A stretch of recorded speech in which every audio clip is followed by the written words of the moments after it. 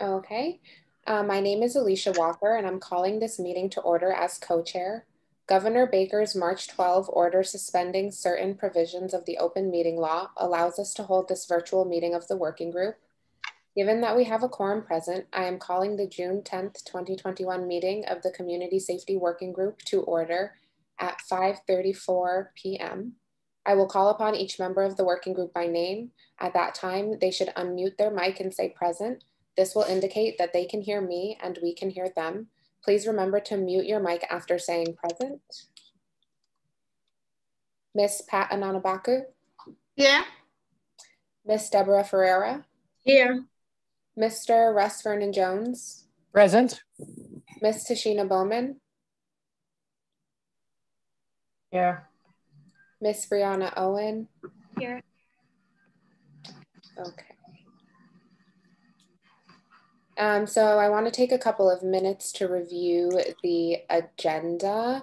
Um, typically we have public comment first, but just because we have um, Mr. Bockelman, the town manager here tonight for a limited amount of time, I'm going to suspend public comment to a little bit later in the meeting to give us time to discuss some of um, the time sensitive issues while we do have him present.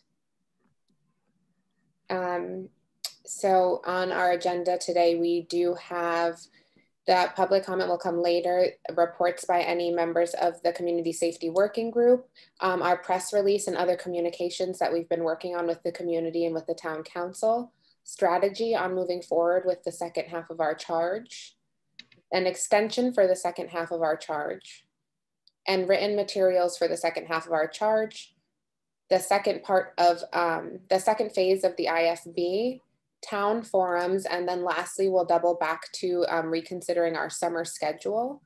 So I just wanted to open the floor to um, discuss the second half of our charge and our extension just first before we move forward while Mr. Bockelman is here, as well as any questions we have on the um, IFB and that um, portion of the second part of our charge. Um, so I just wanted to open the floor. I know there were a couple of members who had pre-existing questions. Ms. Ferreira and then Ms. Owen. So I guess for me, the, the more pressing questions while Mr. Bockelman is on is just figuring out um, the extension. You know, I know last time when Mr. Bockelman was here, he said that um, the town council will be presenting, there's two kind of August dates that, that they'll meet. And so, um, but I was thinking more so the later one, like the 23rd of August, that maybe we could have our, our recommendation for the second part of the charge done um, before then so that they could present to the town council on the 23rd of August. Um, so if that would be the case, let's say, um, by when should we give you, should we still, because I'm still fuzzy about the order, should we still give you the rec, do we need to give you the recommendations beforehand? Do we give the recommendations to you and the town council on the 23rd? What would be the process, I guess would be my question.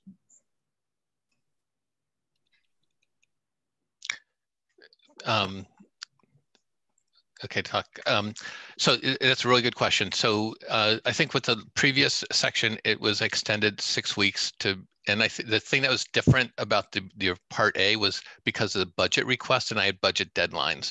That doesn't exist for this. So we don't have to think about that preliminary action because I had a May 1st budget deadline I was trying to hit, uh, but we went to May 15th.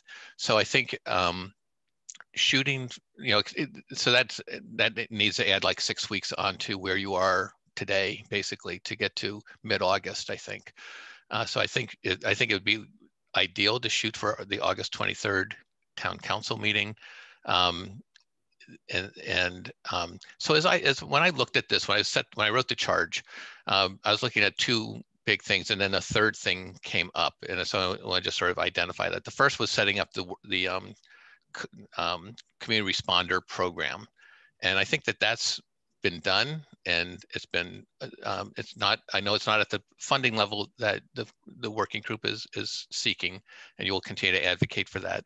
Um, but I think that we're really on target to get this moving forward um, you know, we have a good group that's going to work. I'm really th thrilled that the co-chairs have volunteered to participate in this, and the forming of it. There's a lot of details as we start talking more, you uncover lots of more details that this group will have to work out and you know, Ms. Moisten will be part of that as well.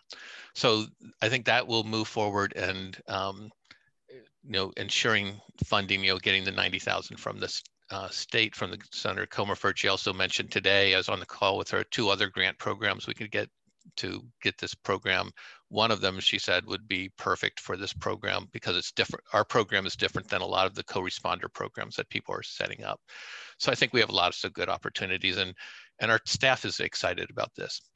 Uh, the second one was to do the um, the resident oversight board. You know, the committee that I think that was uh, what we had talked about was to get what is that group going to look like in terms of um, overseeing the um, you know the complaint process and, and all the things that have popped up that that we've heard testimony about with the police department and what's that look like and that's got a lot of complications too and i think the success of that again is going to make sure that the you know we've got all the players involved who are going to be working with it. You know the police chief i think is key to having this be successful. And um, he understands how all the policies work the interactions. Um, you know we know that there are things that will come in that we aren't aware of you know issues that have that will people have been felt uncomfortable bringing to the police um, previously under the the old way. And so setting up that group and what that group's charge is going to be and what types of things and who should be on that committee is really a big thing. So if we come out with a community responder and a resident oversight board, and then I can tell you today, the finance committee voted to recommend, and this is not in your bailiwick, but it's it's relevant, I think, um, to vote. Uh, we working with our finance director um, came up with a way to fund reparations uh, establish a reparations fund that would have some money that would go into it every year. And then having a all this the details need to be worked out having a group that would then help to distribute those funds in the way that they think. So so as i look at this i feel like we're making i mean just in the last year made some real tangible progress.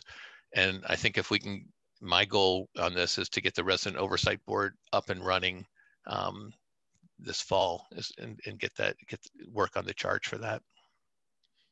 So I guess just a follow up. Yeah, I mean, thank you for clarifying, you know, your goals and everything. But you know, again, like I had said, like last week, I think we're gonna go a, lot more beyond that, though.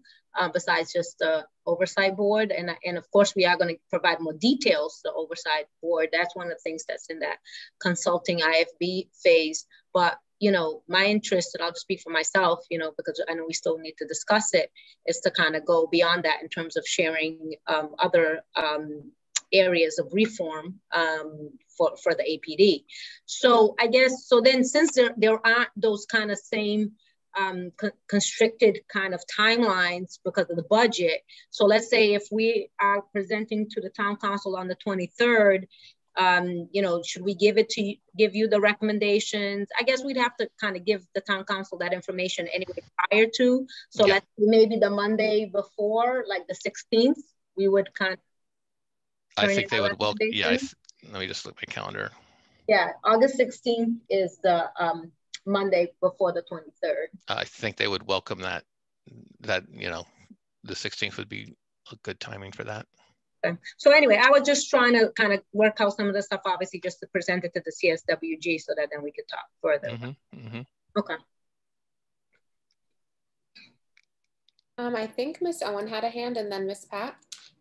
Yeah, so I did get a chance to look over at the IFB over the weekend, and I was wondering if there was funding available for consulting because the IFB, um, again, I do agree with Miss Ferreira, there's going to be a lot of work besides the resident oversight board, and I do think we, we're probably going to need help with that. So I think we should look at what is the additional work that's um, that you're wanting to do, and talk about what um, the, what's the time frame? What can we get done in the period that we have? So I think you know what I you know what I'm looking for is the next phase is to get it the resident oversight board. And I think that in and of itself is a pretty big task. I know there's a lot of other work that needs to be done, but whether I don't think it's realistic to say we can get this done over the next you know two months or whatever we have between now and August. So I think I think you want to be realistic about what we can do because we're not going to get everything done, and there's going to be a lot more work that has to be done in the future. So um, you know, I, I, I think I, I'm not encouraging you to expand the scope of what is needs to be done. I'm, I'm trying to, I'm hoping that you'll um, be going with the goal where of getting the resident oversight board going. Yeah, kind of as a follow up to that, um, are, is our charge going to be extended? Because it seems, after watching the last town council meeting, it kind of seems like council members are interested in reform within the police department. So I don't think, I don't feel like we'd be doing our full charge if we just did the resident oversight. Like Shalini said that she was very interested in police practices being reviewed and other council members too. So I just, like, are we going to have more time? Is the CSWG going to continue so that we can get that work done? Well, I think that the the CSWG has its charge. If there is a successor group that needs to be formed, and I think there is a conversation to be had on that, and what is its what's its relation to the resident over to the I think we're called the resident oversight board. What is the relation between their role? Is it that is it that group that's doing it? I mean, I think um, I think I said last time there's a lot of built up, uh, a lot of institutional knowledge already with this group, and so seeing some con continuity is really important. So, but I don't know what the successor group. There's there's um, you know we we have a reparations uh, committee that's going to be established. Uh, the, I think there's some other groups that are being recommended to be established, and I think we need to really look at this as a town in terms of what is our structure going to be.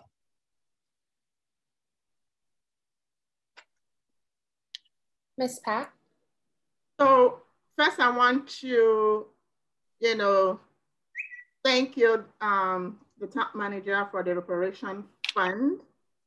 I know your heart is in a good place, even though there's a lot, you know, that needs to be done in terms of what CSWG has recommended. So a couple things that I have, I personally do not think that August is enough time for us to recommend complete our um, task for part B. That's not going to happen. That's not enough time. And I do not see, I mean, we have very capable um, CSWG uh, members that I think we need help. I mean, we need to do a thorough digging on the charge uh, for Part B. So I'm very concerned in terms of time frame, having it done by end of August. That's not going to happen. We don't have enough time. And we do need help. We need, we need um, an organization to do the research, do the work, because if we just recommend something, the way that the town council operates, and no offense, you know, they will not take us seriously. We need to be able to back up our recommendation very well. And I don't think, you know, just our committee alone um, will be able to do it. In terms of the, um, the future of CS um, WG in the future, I, one thing for the reparation group is only for black, that's a black group. The difference with this group is we are BIPOC group. Mm -hmm multiracial uh, uh, group is very, very critical. Mm-hmm. And also the successor of CSWG should be people who are already entrenched in this work to mm-hmm. continue. Mm-hmm. I've heard through Grapevine other groups who are vying for, you know, if there's no more CSWG, what about their group? So I'm hearing things also um, through Grapevine, but whatever the town council and you, you know, consider in the future, this core group has, has done incredible amount of work and we want to see the end, not the end, but to, to make sure that the work that we've done is being implemented and hold people accountable. So that's all I want to say for now. Thank you, Ms. Pat. I think I had Ms. Ferreira and then Mr. Vernon Jones. So, I mean, I, I, I definitely hear Miss Pat in terms of what you said. I mean, obviously, if if there's a way to kind of go beyond August um, timeline, you know, I would welcome that. But I know that before beforehand, Mr. Bockelman has kind of kept us, you know, strict to the timeline, and I don't want to miss the opportunity. I guess that's the thing, you know. Obviously, if we can go beyond August, yes, but if but if we can't, then I want us to, to be able to, you know, obviously we have to do that with part A, right? It was a rush job as we know it. We, we would, we should have had like a year to kind of do that, but they didn't give us a year. they gave us, you know, six months or whatever it was. So, um, so that's the thing. But but part two, I mean, I hear Mr. Bockelman in terms of the oversight board, but again, there's a lot more, and we need to, and and we're going to discuss it because we already had the IFB draft, and then I have a bunch of other areas that that needs to kind of be plugged in that we had said at the end of our part A um, report that we are going to be looking into. So that has to be plugged into the IFB to um, uh, report. So um, there's a lot that that needs to be done, and we need to do it. I'm not going to, for me, I'm not just interested on the oversight board. It's the oversight board and all those other things that are very key in terms of APD. And if we don't reach all those other things, we would will not have done our job uh, correctly and thoroughly. So I'm I'm very interested in focusing on all of the above. And yes, we do need we do need the help. We need the consulting help. We, we do, and we'll spell it out to you once we go over it. We'll share you, you know, we'll send the email over in terms of why it is that we need the consulting help and that why it's going to be key. So my thing for you is how can you find the money so that we can make this happen?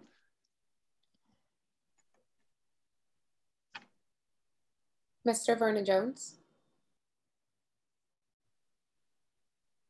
Um, I appreciate that, Paul, in your mind, the second part of the charge may have framed as uh, the resident oversight board, but the charge does refer to recommending policy changes and organizational changes, and also refers to our uh, outreaching to the community and finding problems and identifying solutions to them. Um, and I think as you've been hearing from us, that oversight board. Uh, and I guess now I get the question that I'd like to ask is, if we identify things that could what would be the mechanism? Are we, is an IFB the only way to proceed to get um, help or are there ways to hire people on an hourly rate, do? Are there ways to uh, get three quotes and move forward more quickly? Yeah, my my internet my internet may not be that good uh, tonight. Um, but I think our, our question is both, you know, can you find money, but also what's the the way forward that would let us, you know, should we be asking for three quotes for something as a quicker way to uh, find a consultant? Um, or is the IFB process the only one uh, that's available for us to get some help? So no, there are different ways you can procure services. Um, so IFB is one, RFP, but it, RFP is over fifty thousand dollars, and that that takes on a different um, approach, and that that's usually takes a longer period of time. Um, so, in terms of, I, I, guess what I'm trying to figure out is, or you know, I, I knew what I had in my mind when I wrote the charge, and so, and this is an advisory to the to the manager, and what I'm where I'm looking at is what we can set up this year, and what what is our capacity as a town to move, and I and I and I really feel the urgency that the working group is bringing, which is really good, um, and trying to match it up with um, our ability specifically through our police department, our police chief, of being able to implement the things that we're recommending. And I think that's the difference here. We want to get things that we we can implement and make change. Um, putting a lot of, I really want to put that, that's where I really want to shift our focus is the implementation, not just um, you know we've spent a lot of time studying things but i think you know i think you've you did a, great great job yourselves actually on the um, on the on the on part a of the report. If we get to the second part we get the resident oversight board. I'm thinking of real tangible things and i maybe because i'm a manager and um, you know not a politician or something like that but it's but it's i'm looking at what can we get in place that we i feel are really going to make a difference and i think that um, and I think there's a lot more work, just as uh, Ms. Ferreira has been saying, is that holy crap, oh, I'm sorry, uh, there's a ton of stuff to be done. And, um, and all those things that you mentioned are really crucial because I think this that's the thing that's going to influence, that's going to impact um, people of color the most.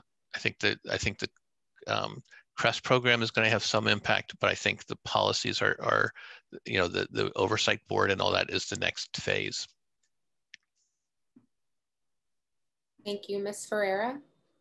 Yeah, but um, Mr. Bockelman, I mean, I, I you know, again, so so then what was the point of us spending all the time making the recommendations if then what you all do is just pick whatever it is you think is going to be most important to put into mm-hmm. play? You see what I'm saying? Mm-hmm. I mean, what, what all the recommendations that we made for part A, those were all critical and those were all important based on what the work we did. Mm-hmm. And then whatever recommendations we're going to be making for part B, those are going to be all important based on what we're hearing from from the community and what we're hearing from the the the, the residents in Amherst and what it is that they need. So mm-hmm. kind of just single out the oversight board as okay, that's the thing that we're going to put in place. That really just showcases then that okay, everything else is a waste of time. That's basically what you're mm-hmm. telling me. And that the oversight board is what you all will spend time on, just like the press program is what you all will spend some time on because you didn't even fund that fully, but at least you gave some money to it. So, okay, the press program and the oversight board, okay, everything else is just, you know, words on a, on a paper. That, that's what I'm hearing, mm-hmm. you know? Um, Mr. Bockelman, if you would like to respond to that, and then I will go to another. Yeah, I, I know you have other members with their hands up, so I appreciate that. Um, yeah, no, I, I, I mean, I think one of the things as I think about how we implement things is, you know, one of the other recommendations was a DEI uh, director, and getting, you know, getting that position that position up and running and involved is really crucial too. So I'm I'm trying to figure out how we can manage all these changes that are happening in a relatively short period of time um, and getting the right people to help implement them.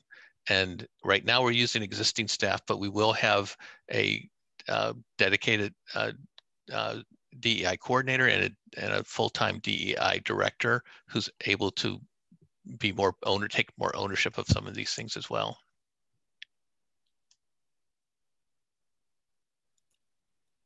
Thank you, Mr. Bockelman. I think we had Miss Ellen and then Miss Bowman. Um, I think Miss Bowman had her hand up if she wants to go first. Okay, Miss Bowman. Um, so this continues to be very familiar space for me. Um, you have BIPOC people telling you what they need and you have non-BIPOC people picking and choosing what they get. Just sit with that for a minute. Mm-hmm. Because I think this community of BIPOC people have spoken so loud and have expressed themselves so clearly.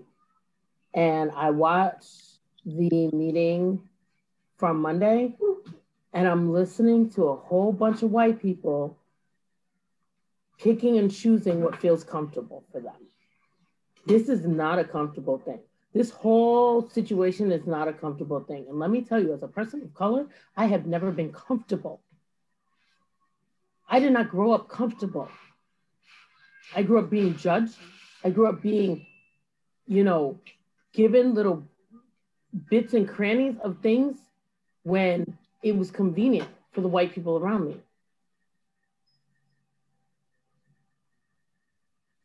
I'm just, you know, I'm, shame, shame on the town of Amherst because that's exactly what you're doing. You're picking and choosing what feels comfortable for you. And we have been clear and we have been very precise about what we need, what the need is of this community. I sat there and I watched the meeting on Monday and I was like, yo, they are talking about a whole bunch of things that have nothing, like literally, um, I believe her name was Sarah, had to bring y'all back to, to recognize that this is about the BIPOC community. That is the first part of this whole thing is about the BIPOC community. It's not about mental health awareness. It's not about, you know, this, that, and the other.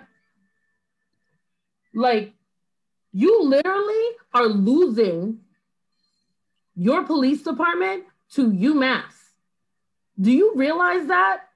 So you're cutting, you're not giving us the funding we need, but you're going to lose your police department to UMass and the crap that those students do on a regular basis every semester that they're here. Getting you're getting calls from UMass, you're getting calls from, you know, and now we're now Amherst is gonna have to take care of that, but you won't fund us. You won't invest in the in the people that actually live in this town. You invest in students and making sure that those students are being taken care of and being managed and making sure that they're, you know, that zoo over there is being taken care of, but you won't take care of the residents of your town. I don't care how uncomfortable it makes you. I don't care who is like crying in the wind at this point because I've been sitting back crying in the wind long enough. I've watched my people sit back and cry in the wind long enough. Get it together. It needs to be uncomfortable. It needs to be in the faces of everybody. You need to put your residents before your students. Even the police department sat there and was like, look, we don't need all this extra. We don't need, we have to deal with all this other stuff, these other things. We need this program. Even they're saying they need this program. and and and it's like it almost feels like the even the police understand that this program is necessary more than the finance committee more than the town manager more than you know the the town committee that's what it that's what it looks like to me because the thing is is that you can go and look at all these other programs and so on and so forth but at the end of the day amherst is very unique we're very unique we don't necessarily operate the same and we don't have the same needs. We have community members who, like me, who come out and speak, and then we have community members who don't. And the thing is, is that the community members who have taken the route to go out and speak and tell their stories and, and, and tell their experiences, you guys have come, you guys have systematically dismiss them. And then you're going to sit there and pick and choose what you think is best for us. That is literally what systemic racism is about. That is literally what it's about. Is that you, I can tell you that you're hurting me and you will pick and choose. Well, this didn't hurt so bad.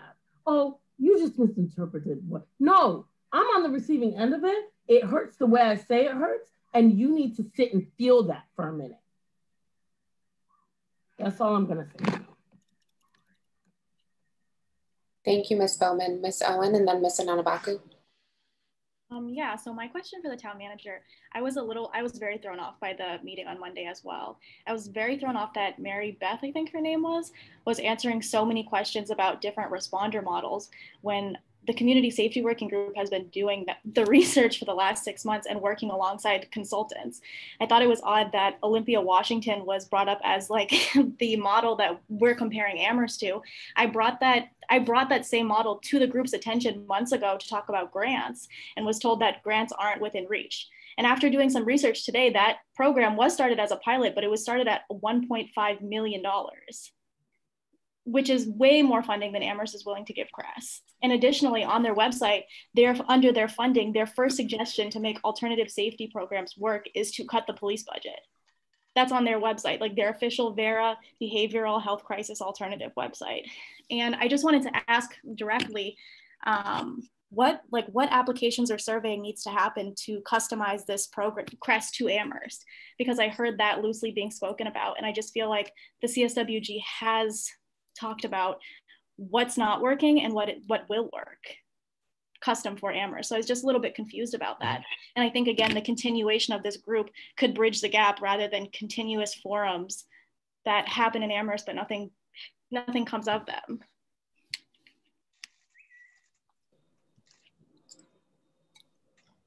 Thank you, Miss Owen. Um, Miss Pat? So I got um, a couple text messages. And the issue of having reparation leaders to either replace CSWG or be the one when, you know, I have people who are not Black who just texted me and they wanted me to ask the town manager that Blacks are not the only minority group in this town. So if we are going to use reparation leadership to replace BIPOC, that will be pitting one group to another. And the message I got from my text is don't let that happen. Mm-hmm. I just I just wanted to convey that to everybody that would we for us to be mindful that minority groups were not fighting against each other because Asian American can say, where is our own reparation? Native American will come, Hispanic group, and so on and so forth. So CSWG needs to be replaced by multiracial BIPOC folks, the people who are currently on it. Thank you. Thank you, Ms. Pat. Mr. Bockelman? Yeah, thank you. So I, I, I hope I didn't confuse on that. So I, I just, the reparations is a separate lane, separate group, separate organization, uh, separate committee that is being proposed to be set up. Uh, so not to be confused with what has to happen on the on the public safety community safety front so yes definitely two different things two different things um, there i mean there may be overlap but maybe not i don't know um, but the, the intention is not that, that there would not be overlap of mission uh, between the two um, and um, for Ms. Ms. Owen, uh, you know, where we are at this point is how now that we want to create and we have fund or when the council votes we will have funding to create a CRESS program there are a lot of details to work out in terms of protocols and um, you know hiring practices and all the things that we need to do. And so uh, what i find to have a successful program implemented which is the goal of our entire team is to involve the people who are you know who will be working most closely with it the fire chief the police chief the um, hr finance um, all the all the key people. And I'm, that's why I'm so thrilled that, like I said at the beginning, that you are willing to participate as well to get into the nitty gritty about how does it actually set up and work. It takes a lot of time and effort to do this. It's not going to be an easy task um, to pull it all together. So we have an actual program with people responding to calls, and that's our our goal. And you know, I I think you know, you know, I've had experience in in this in doing this kind of work, and it takes a, it takes time and effort. Um, and I don't think you know, uh, you know, I think there's, you know, we don't look at one community as the model, but we can learn from lots of different communities and from uh, other people. So that's where, um, you know, I'm about implementation right now, getting the funding in place, which you and getting the vision set, which you have done, getting the funding in place, uh, getting the people, uh, getting the DEI director in place is going to be a help a help as well. So we have more dedicated time to the work, um, and then moving forward on it. I guess I would just appreciate going forward if um, some representation from the CSWG could be at conversations like what happened at the town council meeting. Mm-hmm. Because for me, I've never seen Mary Beth in the audience. I've never heard her during public comment. And we've been studying community safety and the intersectional issues for the last six months. And I do think that if not us, maybe the consultants, because they are experienced professionals who did the work for us. Yeah, well, I think I think we do have to recognize that town officials have some experience as well, and um, that that we can bring that to the table as well for during implementation. That's the. I'm sorry. No, yeah, with you. Yes, I understand. I agree. So um, I know you have to leave, and I'll mm -hmm. be mm-hmm. very brief, um, Mr. Bockelman. So, what is the reasoning why um, the town will not fund the youth program center and also the BIPOC center because this is directly, just like what Tashina had you know, referenced before, this is what our people, my people are saying, we want. And then people in position of power is saying, we got we get to uh, uh, pick and choose. So what is the reasoning for not wanting to fund the two centers? I'm just curious. And how do you think not having a 24-7 CRESS will even work? I mean, I need help you explaining that to me because I don't I don't get it. It's a slap in our face because we say we need a safe place. And almost all white town council just ignored and also um, the uh, finance committee ignore all that. That's what we need. We don't have a safe place in this town. Yep.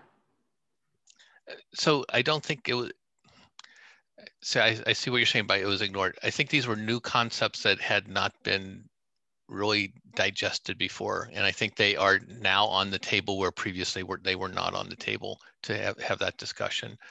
Um, you know in my mind we do need a champion of like that's where a dei director would be helpful to help say take that on and start to say what are the steps necessary to get to that point? You know identify space identify funding sources all that type of stuff stuff as we get into a proposal for creating something new. Um, so yeah, I, I, I, we addressed it in a, a very sort of um, way where it was like, yes, it's something that we have to look at, but it hasn't been, yes, we adopt it. You're right on that.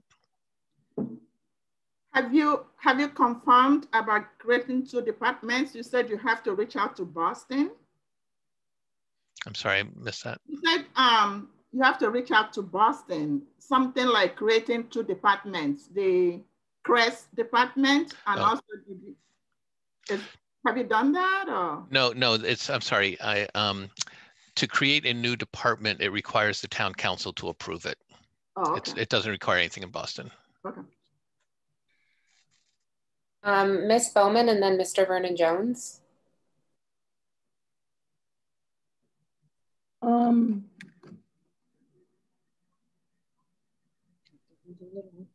so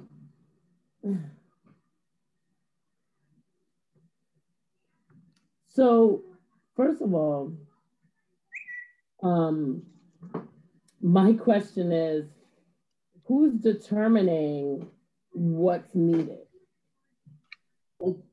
Because, like, we're saying that we need this, but clearly it's not our choice. Like, we don't get to say what we need. Um, so I just want you to sit with that for a minute. Um, also, you know, one of my really, really big problems with this like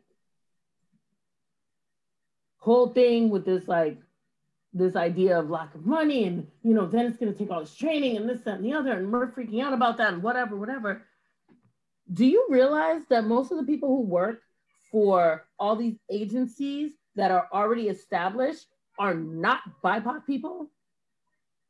So you're literally just telling BIPOC people to trust more white people who have already screwed them over multiple times to go ahead and call this number and you're going to have more white people in your business, in your lives, in your everything, judging you. I, I just, I'm curious. I want to know how that's going to work because we're not calling police. So why the hell am I going to pick up the phone and call some agency that's full of a bunch of white people? I'm, I'm just curious because, you know, I heard a bunch of suggestions about, oh, we can work with CS, C, what is it? Um, like, CSO. CSO and ServiceNet and all that stuff. But I walk in the I walked in the door to those people before, and they're a bunch of white people. You know, DCF, of white people. And the few people of color who may work there, and they may not like that I'm saying this, are token. Because you know, if they make any ruckus, if they lift, if they raise their voice, if they make any scuffle, against what the white order is, they're going to get fired or reprimanded or so all the countless other things that are going to happen because all their supervisors and all their everybody's white above them like do you like i just don't like i guess i'm frustrated because i really really really really really really get it so deeply that you have no clue you have no clue what it's like to know that there's a service that you should be able to contact. But you know, if you contact that service, you may lose your children, you may go to jail, you may lose your your your livelihood on every level. And then add mental health stuff to it, add disability to it, because I'm coming to you as a person with a disability on top of it. Add all that stuff to it, and you're just like, oh, you know, this is getting taken away from me, that's getting taken away from me. Now they want to take my kids, now they want to take my food. Like, for real. Where? Like, who's making the term- determination? Again, like, you guys are policing Black bodies on every level. Do you not understand that? Do you not get that? Do you not like? I mean, clearly you don't because this wouldn't even we wouldn't even be having this talk. I mean, we wouldn't even be doing this right now if you really, truly, in your deepest part of your heart, understood that. Understood that if I tell my kid to stop doing something, I automatically know there's a white person there judging me and deciding whether or not they're going to pick up the phone and call DCF. I'm a good mom. My my kids are go- college bound. I have one kid that's in grad school right now. But every day I still look over my shoulder. Every day I have to be aware of every move I make, how I present myself out there in the world, because every single moment I'm being judged. I cannot turn to my children and be, tell them to cut it out because I know that there's some person who's already ready to pick up the phone and call DCF on me. You want us to trust these people. You want us to put our faith in these people. And you are literally not getting it. You are not understanding it. I can't even find a doctor who's a person of color. Like, I, I just like, you're not getting it. You are not getting it. The town council does not get it. They are not listening to us. They are not hearing us because they don't live it. They can go to a doctor and have a doctor totally understand where they're coming from.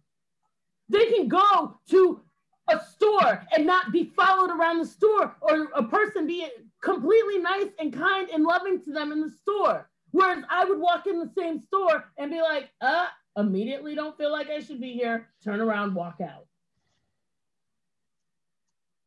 Are you sure you can afford that? That is the tone in the voice.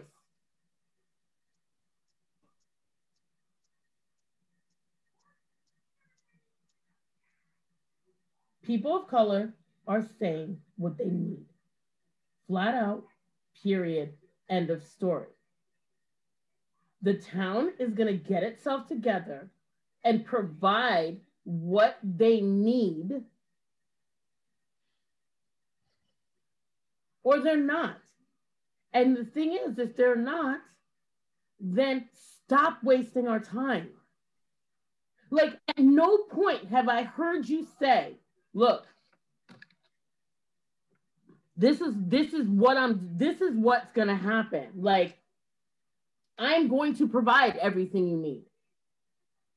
This is my this is my steps at providing everything you need. But you know what? What's interesting?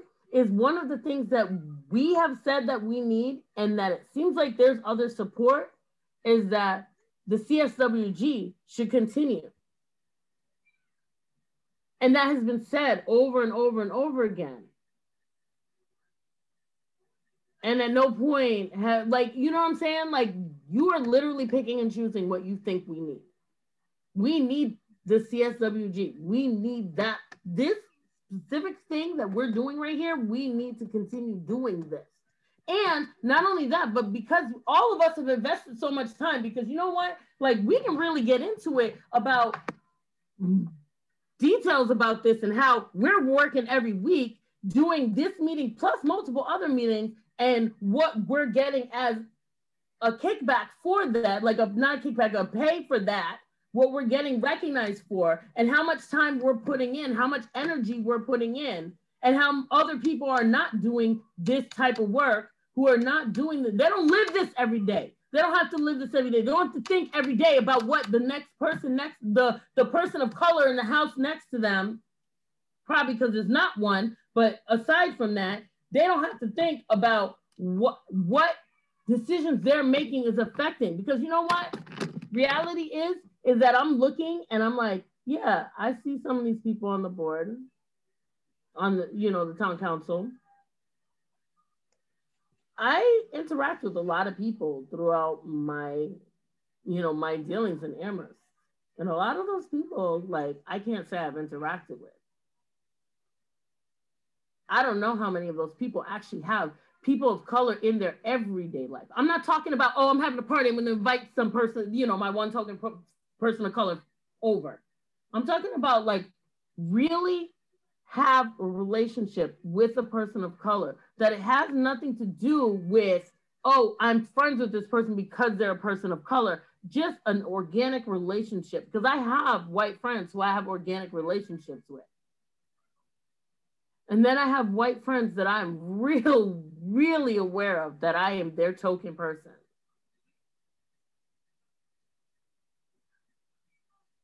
I am I just I'm just gonna keep rambling on, but you're not listening. Nobody, the town council, the finance committee, Mr. Bockelman, you're not listening. You're not listening. You're not listening. You're picking and choosing what feels comfortable.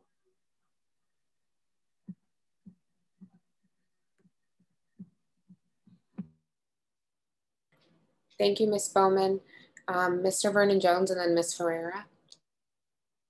Mr. Bach, Mr. Bockelman, given the unique composition and role that the Community Safety Working Group plays, and the fact that there are issues directly within our charge that we cannot finish by August, why are you so resistant to continuing the CSWG beyond the end of August? So when I when I created the CSWG, what I wanted was the two address two, two things that we addressed. One was a alternative responder program, and the other is the resident oversight board. Um, you know, there are a lot of other things in the in in the charge. I admit, um, but those are the two functional things that I was looking at. If there is a successor group that you think should be a standing committee, which I think is what we're going to, um, that would be a, a good thing to come out of the as a recommendation as well. But that's where I'm. That's how I've envisioned the work of the community safety working group, and I think that were, that was, you know, that's how I've, I've envisioned it when we when I wrote it last last fall. Could you explain the difference between a standing committee and continuing the CSWG? I think a standing committee has um, like uh, ongoing roles and responsibilities that it would and that are defined in terms of what they all actually do. It's not just going to be studying things. Um, it'll have, and I think we're looking at the same thing with the Energy and Climate Action Committee as well. Uh, how are we going to implement in, integrate the work into the overall operations of the town? And I think this is a, a more narrow focus on community safety, and maybe it should be. Um, so but I really need to leave. I am holding up a party, and, eh, not a party, a group of people, um, and um, so I have to excuse myself. So thank you. Thank you, Mr. Bockelman. Mm -hmm. um, Mr. Vernon Jones, I'm not sure if you were finished with your comment. I was intentionally brief and I'm finished for now. Okay, thank you, Mr. Vernon Jones. Ms. Ferreira? Well, yeah, Mr. Bockelman, I guess, made made the exit when he was. Um, he had to and everything, and I guess it was best for him, so he wouldn't hear what I had to say. But um, you know, again, it's just um, you know, the resistance is, is just ridiculous. You know, the resistance from the town council, the resistance from the finance committee, the resistance from Mr. Bockelman. Um, I mean, it, it's just shameful uh, because, you know, again, we've, we've, you know, done the work. We've put in, you know, the time. We've brought in the consultants, shown the data, which is one of the things that they always say: show the data, right? Show the data, and there's still the resistance, right, in terms of putting things in place. Why? Because again, it's systemic uh, uh, racism, it's white privilege, it's whiteness, it's you know the things that we've had to deal with since slavery began 400 years ago, right? And that is what we are dealing with. And so for Mr. Bockelman to say, say here and say that, well, when he wrote this charge, he was looking for a community responder uh, group and an oversight group, then why did he why did he want us then? He already had an idea of what he wanted. How did he know we were going to come up with a community responder group? What we were charged with was char- charged with looking at different models, but he didn't know whether we were going to say to adopt any of those models or to adopt anything. So for me, it was kind of, you know, really, um, I was really upset to hear him say that, you know, which that's what I was going to say if he was here, but he can he can listen to it because it's recorded. Um, you know, how can you say that you were looking for a, a community responder and oversight? You don't know what, you know, you gave us the charge and we were supposed to do the work, hear the community and come up with things that are responsive to the residents of Amherst, focusing on the BIPOC community. And this is what we came up with. And the second part of the charge is not just on the oversight board. The second part of the charge is on all of what is stated on that charge, inclusive of the oversight board. And again, the fact that he's not hearing, right, and, and the town council and finance committee and that, everyone else not hearing that CSWG needs to continue because of the, the, the knowledge base that we already have, right, is again the fact, and I said it last week to Mr. Bockelman though, I said, you know, it's again, it's the fear because they don't want us to continue right? They don't want us to continue to push. They don't want us to continue to be truthful, to say what it is that needs to happen. Again, it's not about us, it's about what the community is asking us to do. And that's what I keep on telling a lot of constituents, a lot of people that come and, and, and talk to me. I'm like, it's not about me.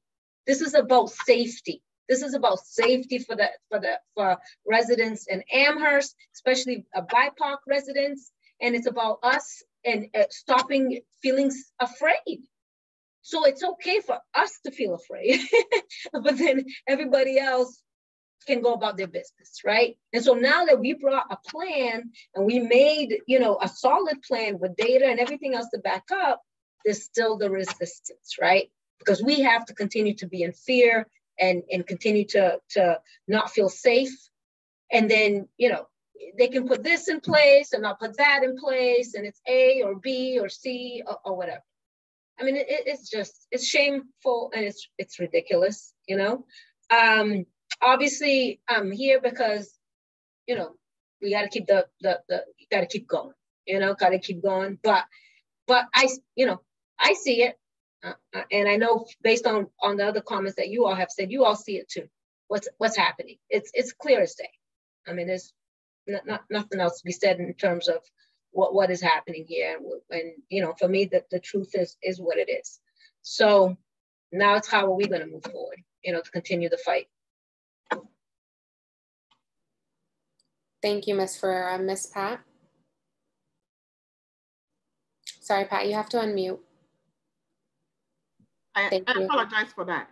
I'm just wondering if we have any anyone in the audience who may want to speak or something like that, if you want to go back to the schedule, to the agenda item. Yes. Um, is that okay with all other members that I go back to public comment? We can double back. I'm sure we'll have some overlapping conversation. Okay. Um, so I'm going to go back to the public comment section of the agenda. If any members of the public would like to make a statement, please raise your hand. I will recognize you and ask Ms. Moisten to turn on your microphone. I ask that comments be limited to no more than three minutes. The working group will not be responding to your comments, but we will listen intently. Um, so it looks like we have Demetria Shabazz and she has her hand up. If you could bring her in, please, Ms. Moisten.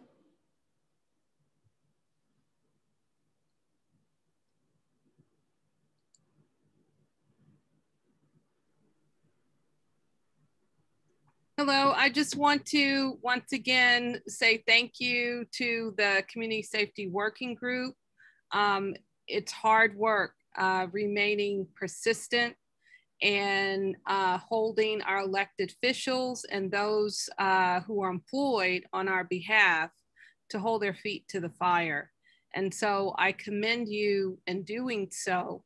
Um, two points that came up tonight um, that struck me as areas that I hope you will continue to press and um, will bring the public uh, in to help uh, advocate along with you is, you know, it sounds like, because this is a, a sea change a bit, that the town manager has admitted that a diversity, equity, and inclusion uh, director will be added. Um, I think that is a, a, you know a step in the right direction because uh, a few weeks ago that was not something he seemed to um, include within his narrative. So I think that's a, a positive uh, move. You are right to question um, who will be in that position, who is qualified to be in that position, what qualifications are needed. Um, the Seven Generations uh, Movement Collective, we uh, only had time to outline such um, a position, but it does need to be fleshed out more. And I think your group is uh, definitely uh, able and qualified to flesh that out. I would look to Cornell's uh, Diversity, Equity, and Inclusion Certificate Program so you could see some of the qualifications um, that uh, someone of, of this stature is, uh, you know, on the very minimum.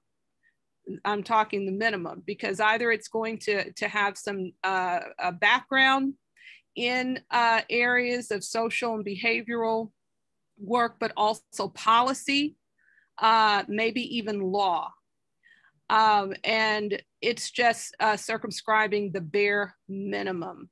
They would also need some experience in those areas. So I don't want um, the town to make short shrift of such a position. It is a position that needs qualified applicants and needs a qualified person to really steer this forward in terms of a vision for five to 10 years. That is what modern contemporary towns and cities are doing because they see, you know, far ahead of them that this world is changing and Western Mass will no longer remain this very uh, agricultural, you know, view of itself, um, you know, uh, but also very white that is that's not going to be for five to ten years. It's going to be much more diverse. And with that diversity it will be far richer. And i mean not only in terms of culture but financially. Because with that diversity brings much more opportunity uh, and creativity. So I, I really hope that you will continue to press them on that um, and that the folks that they have in place to say, well, let's utilize the, the current staff, I think um, that's really shortchanging the, the, the BIPOC community. So you're, you're right to point that out. The other thing that Ms. Pat, and I'll, I'll finish there, uh, had pointed out about the compression of reparations. This is nothing new amongst uh, white communities and folks who are very short sighted, they begin to compress uh, everything having to do with people of color. We are a heterogeneous, you know, uh, very diverse uh, within our diversity, right? It's not just one thing. We're never just one thing. And so it's really important that uh, folks understanding that you create the narrative, right? You've already created it, but you continue to pound that narrative, which is really important because they haven't heard that here. Um, that, you know, when we talk about reparations, that is a separate issue and we're talking about African descendant people. When we're talking about what's going on with the CSWG, you know, it's like the folks we interviewed. We interviewed uh, BIPOC folk, we interviewed um, folk you know that had different uh, languages as their first language we interviewed uh, asian americans um, we interviewed what represents in terms of racial, ethnic, and language diversity. Uh, we, we interviewed those folks here in Amherst. And I think it's important if that's the work that you were charged with, that you proceed um, to do that work for those folks and represent them, which is separate from the reparations group. The reparations group, they're doing their work. So you know, I am confident that you all will keep those two narratives separate, and it's important that you do so for the sake of, of the folks in Amherst. Thank you. Thank you. Thank you, Ms. Shabazz. Okay, are there any other members of the public who would like to public comment at this time?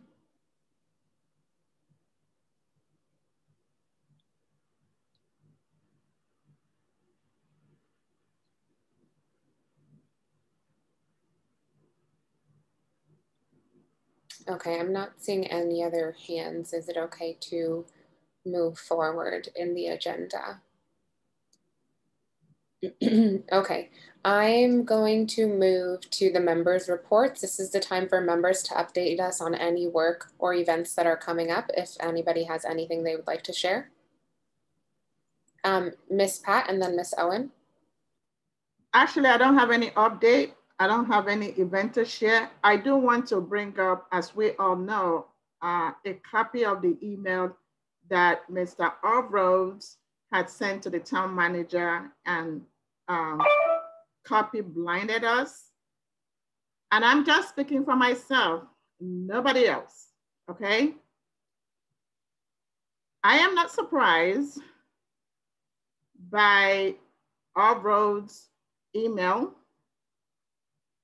because that has been his pattern in this town.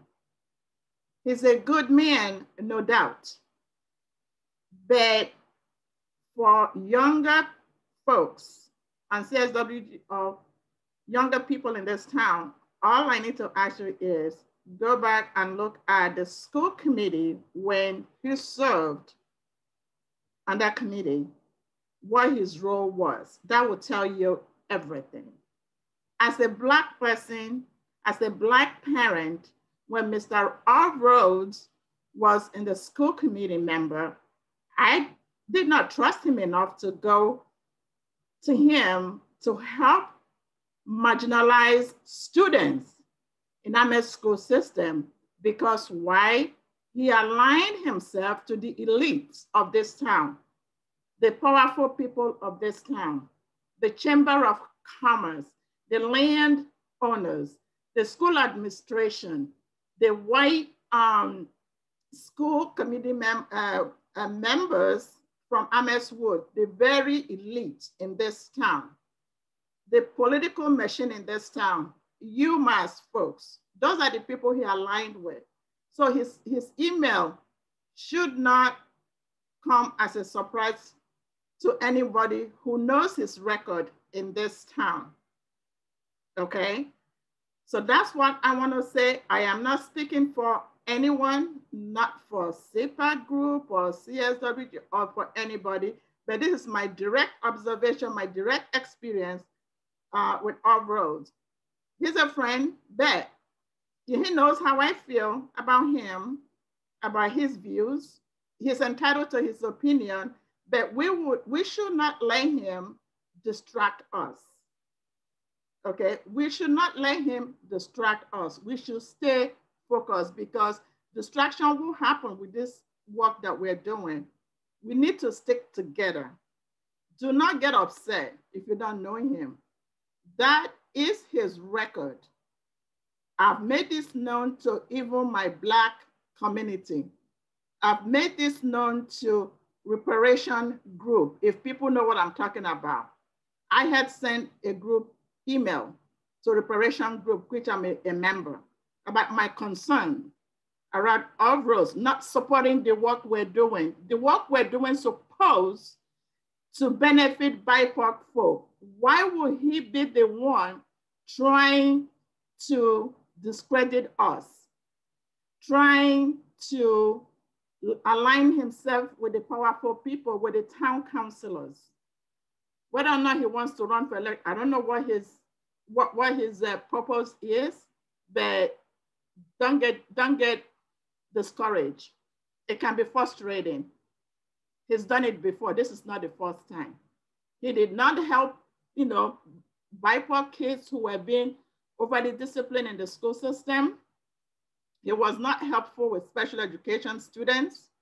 He was not helpful with low income uh, uh, students who are getting um, into a lot of um, issues in the school system. And I can go on and on and on. This is his record.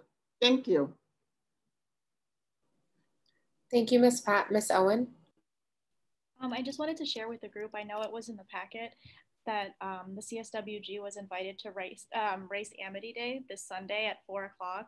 Um, Ms. Walker and I, if you are all okay, will write a small speech to kind of talk about our vision that our vision for the recommendations and the Amherst that we envision, and we'll also make a call to action. I think it's going to be really powerful, and they set us up on the agenda right after they um, go through the town's proclamation. So if you guys are all good with that.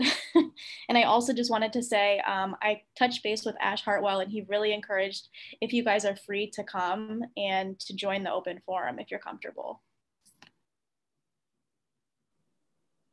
Thank you, Ms. Owen. See the invitation on the screen? Yes. Thank you, Ms. Moisten. This is the invitation. Um, you can register for the event, but you do not have to register to attend. So if you guys um, have availability, I think it's um, just from four to five on Sunday. And Brianna and I do plan to be there on behalf of the CSWG. Um, I believe Ms. Ferreira, then Mr. Vernon Jones, then Ms. Bowman. I think I think Mr. Vernon Jones was before me. Did you want to go before me, Mr. Vernon Jones? Okay. All right. So um, yeah, I just wanted to talk about uh, Mr. Irv Rhodes, and and I know Miss Pat. Obviously, you know you're saying don't get angry, but I'm, I'm at this point I am angry because obviously the first time I was disappointed and sad Uh, but this time I'm angry because after the first one, I, you know, obviously people reached out to me. I re- reached out to people and I was really kind of like, and I communicated to him really directly too um, as you was through, because when I, I, put a Facebook post to say for people to attend the town council um, meeting, you know, uh, when we were going to present to the CSWG, and then he started dialoguing on that, you know, being against, you know, our recommendations. And so at some point, he even said that he had sent an email to us, and then I said in, in the in my response to him, I was like, that wasn't okay. You didn't even talk to us. You didn't even come and, and talk to us in the first place. And then you just go and you send that email to the town manager and to, to the certain members of the town council on the eve of the finance committee. I mean, that was not okay. That was very negative. That was a terrible action on their behalf. So I basically told him that. And then he goes and he sends this other, the second email.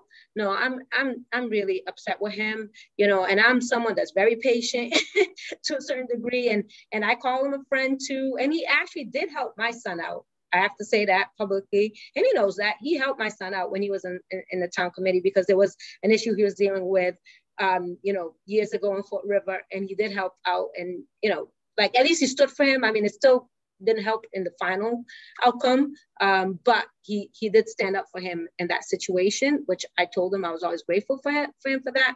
but for him to do this, right, for him to be public, publicly come out against us without talking to us, without reaching out to any member, any of us, and knowing that me and him are friends, and I know he's friends with you, Miss Pat, and stuff like that, to not have the decency to come and talk to any of us first and just share your opinion and everything, just to keep sending these emails, it's just just terrible. You know, I, I am angry, you know, and and you know, I don't I don't think he really cares at this point, but you know, because he doesn't understand it. As a black man who has been in this in this community, even though I've never really agreed with a lot of his politics throughout the years, but it's a message that he's sending, right? When he keeps on sending these messages towards a group that's majority, you know, BIPOC, and towards a group that's majority female, and he keeps on sending these messages. It's, it, you know, for me, I, am really upset, and you know, uh, but you're right. I'm not going to be distracted by him. It, we have to stay focused, stay focused on what we're doing. But my thing is, I don't even want to waste my time. I, we wasted time last time, you know, trying to respond to him on the eve of the finance committee when we are trying to prepare for the finance committee. This time, I, I, I really don't care about responding to him. You know, he's he's a non-entity at this point for me. Thank you, Ms. Ferreira. Mr. Vernon Jones.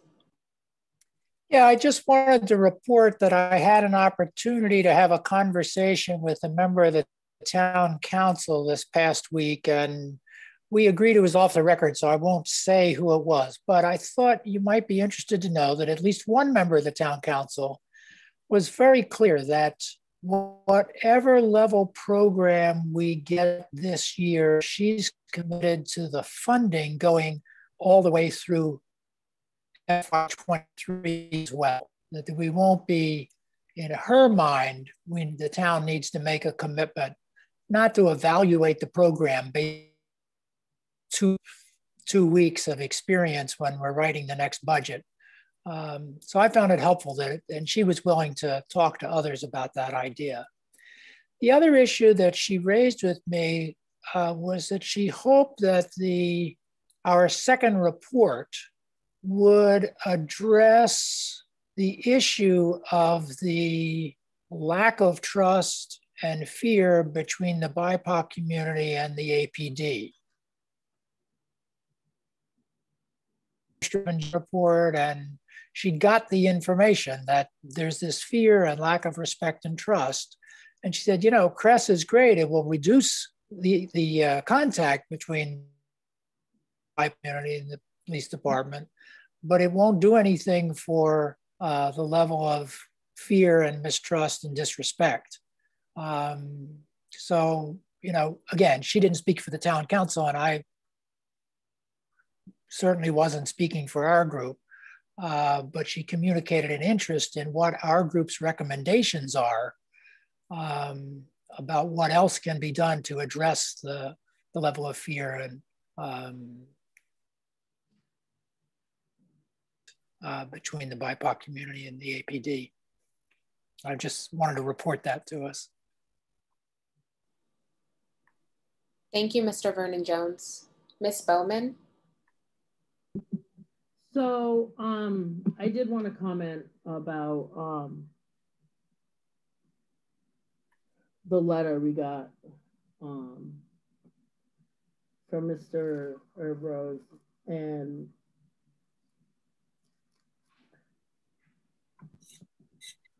I say things that I say things that upset people, and I know that I I don't really care.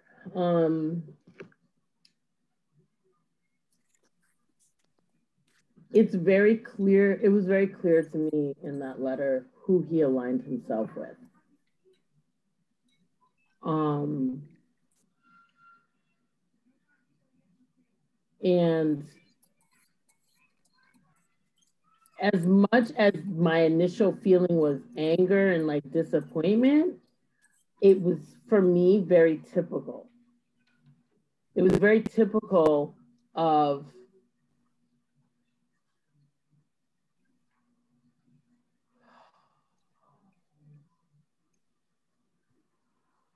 and you know i i do get that you know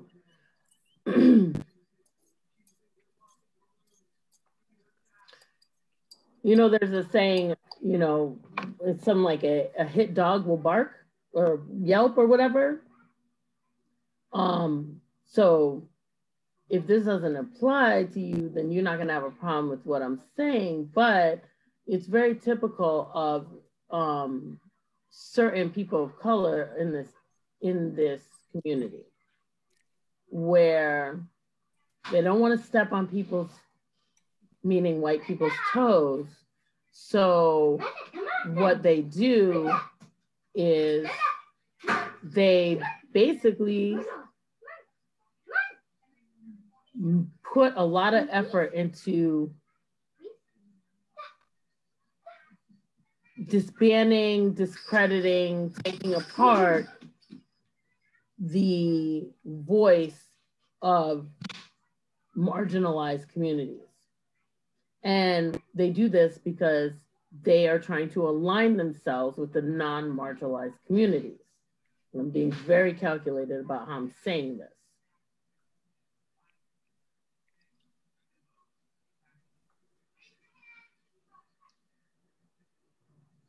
I don't see him out there interacting, working with, involving himself in the communities of people of color who are marginalized in this community. I see him, and when I've seen him, and even down to when I was introduced to him, had nothing to do with people of color. And we have to remember and we have to recognize that there's always going to be somebody who's shucking and jiving to keep things happy and peaceful. And that's all I see this as. So I feel that yes, absolutely, we, we this definitely needs to be moved on from but it needs to be called for what it is. It's a bunch of shucking and jiving to keep the white people happy. That's what it is. He is not in any way, shape, or form acknowledge. He's doing just the same thing. He's he is listening to the white people of the community. He is feeling and understanding whatever for whatever reason the white people of this community he is not looking at what is really going on to the point that someone that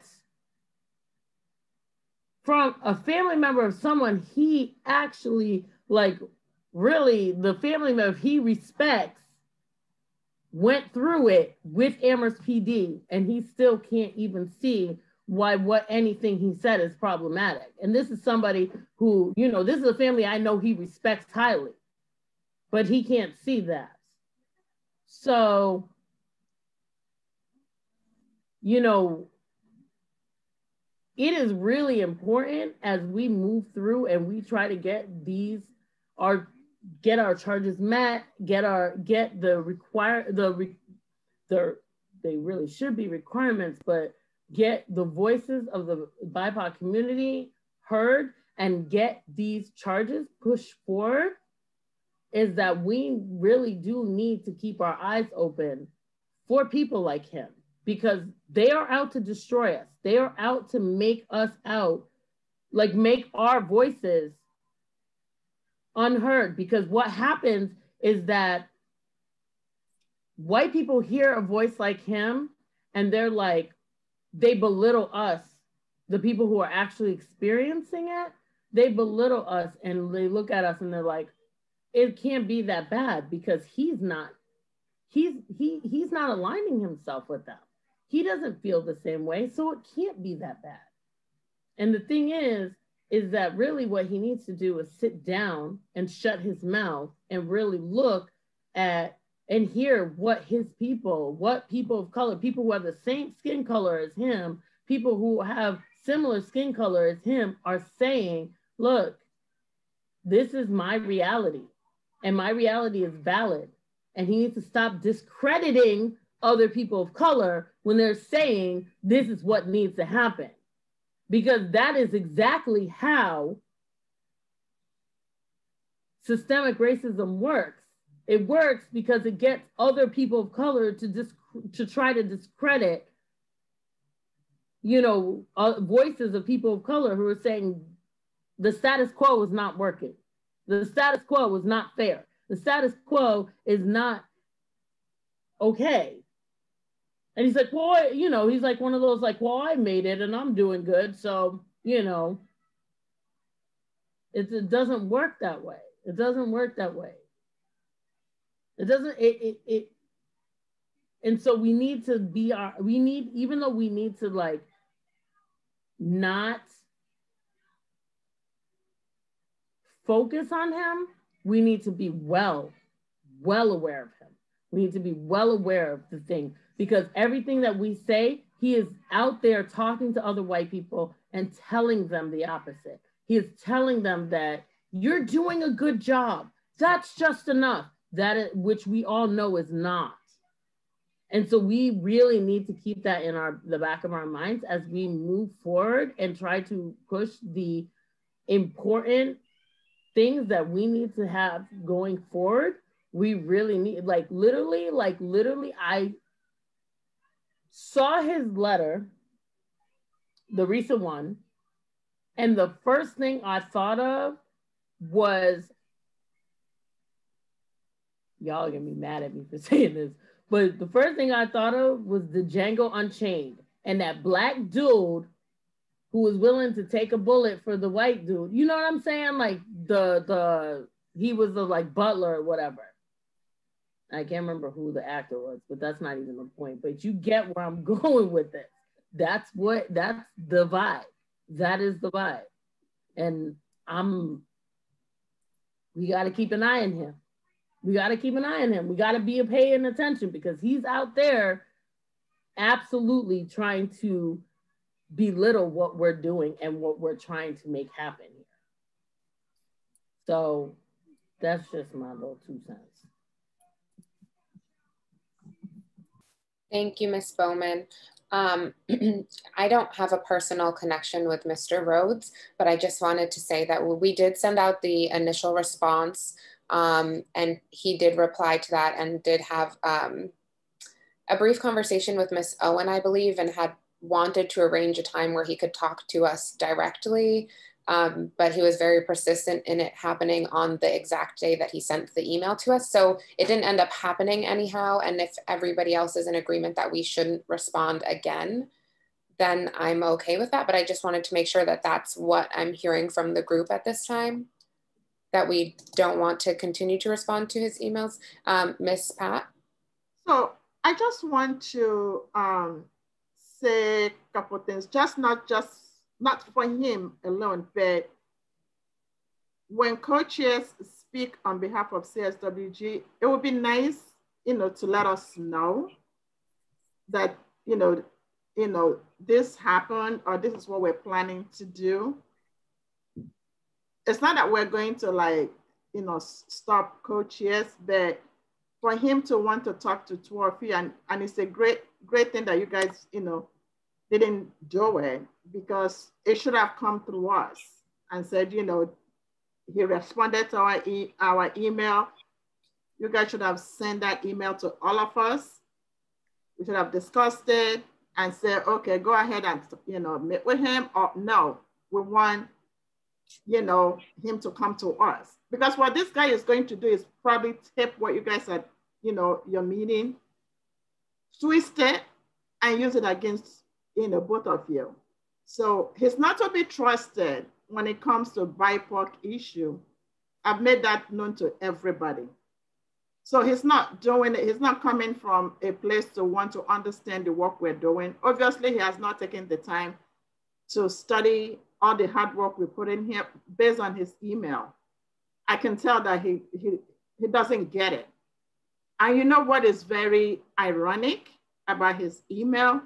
This is a guy who worked actually in mental health, mental, you know, in disability field as well. And then he's questioning CRESS program. Are you kidding me? I mean, when I first read his e email, although I wasn't surprised, I was just scratching my, you know, my head. This used to be his field, you know, behavioral health. And I know he has a, a, a very impressive long career and everything, but um, I'm not even going to support inviting him to talk to us. I'm not interested for us to waste our time to respond back to him. This is a letter that he sent to the town manager and he blind copied us. I just wanted to speak my mind publicly today. You will go on YouTube. It will go down if anybody wants to listen. You know, I am known for calling people out. And when I when I go around, it's okay for people to call me out too, but I'm not going to mince words. I'm not going to bite my tongue. People know me for that, that I will speak my mind. I'll call people out. And I think maybe that's why this group is really challenging for some people because they don't realize that by God's making, all of us are very strong-willed. We speak our mind. We're strong advocate. We want what is best for our BIPOC community. And it came as a surprise to most people because that's what I'm hearing. They did not know, especially our young folks, would be as you know, vocal, powerful, intelligent, and outspoken as they are. And so we're a threat. CSWG is a threat. They want to get rid of us. You know, that's the elephant in the room. It's not because our charge is ending. They want to get rid of us. But guess what? If they get rid of CSW, where we need BIPOC Affairs Committee. And this group of people should continue. So that's what I, I want to say. Thank you. Thank you, Ms. Pat.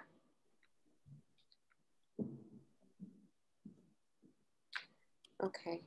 Um, and so, oh, Ms. Bowman, did you have your hand up?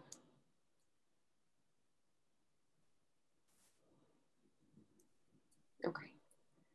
Um, so at this time, I would like to move to um, the discussion of our press release. If you could pull that up, um, Ms. Moisten, please.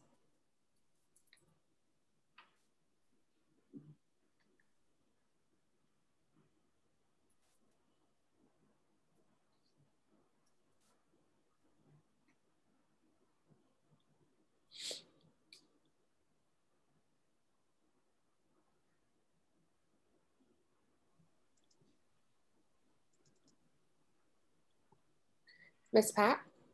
So has anybody read the, um, the news article? Okay. So what do you guys think? I, I thought the article was fair, even though it's not exactly, um, I wanted the, I was, I was hoping I would read comparison of, you know, budgets from other uh, programs, but, um, but I don't think they published this.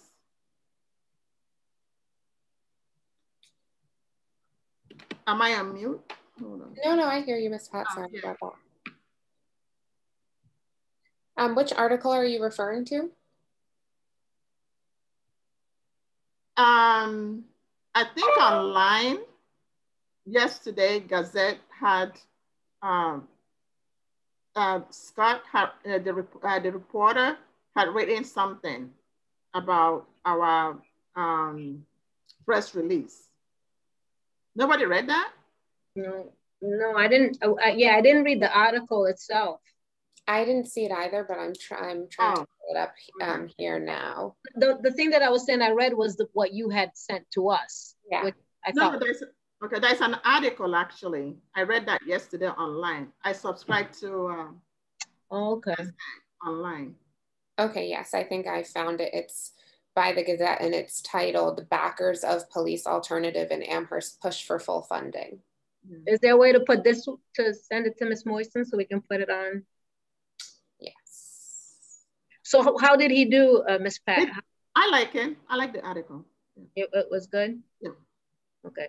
And he didn't kind of twist anything around? well, that's his own writing. Um, I, I wanted uh, him to discuss to convey that we're not asking for too much money, but mm. you know, it's a lot better than, you know, it could have been worse. Yeah. Okay. I mean, does somebody want to read it or not? Do we have time? Um, sorry, I was gonna send this to Miss Moisen to see if she could pull it up. Okay. Because the vote is coming up on the 21st, right? That's the one right, yeah. Council. Um, I guess the other thing too that I wanted to ask uh, Alicia and uh, Brianna was, were you all able to reach out to the town councilors too? Or not yet? Um, we have not been in conversation with all of the counselors yet. We've had brief conversations with the counselors from, um, sorry, I from. You found it? Okay, thank you. From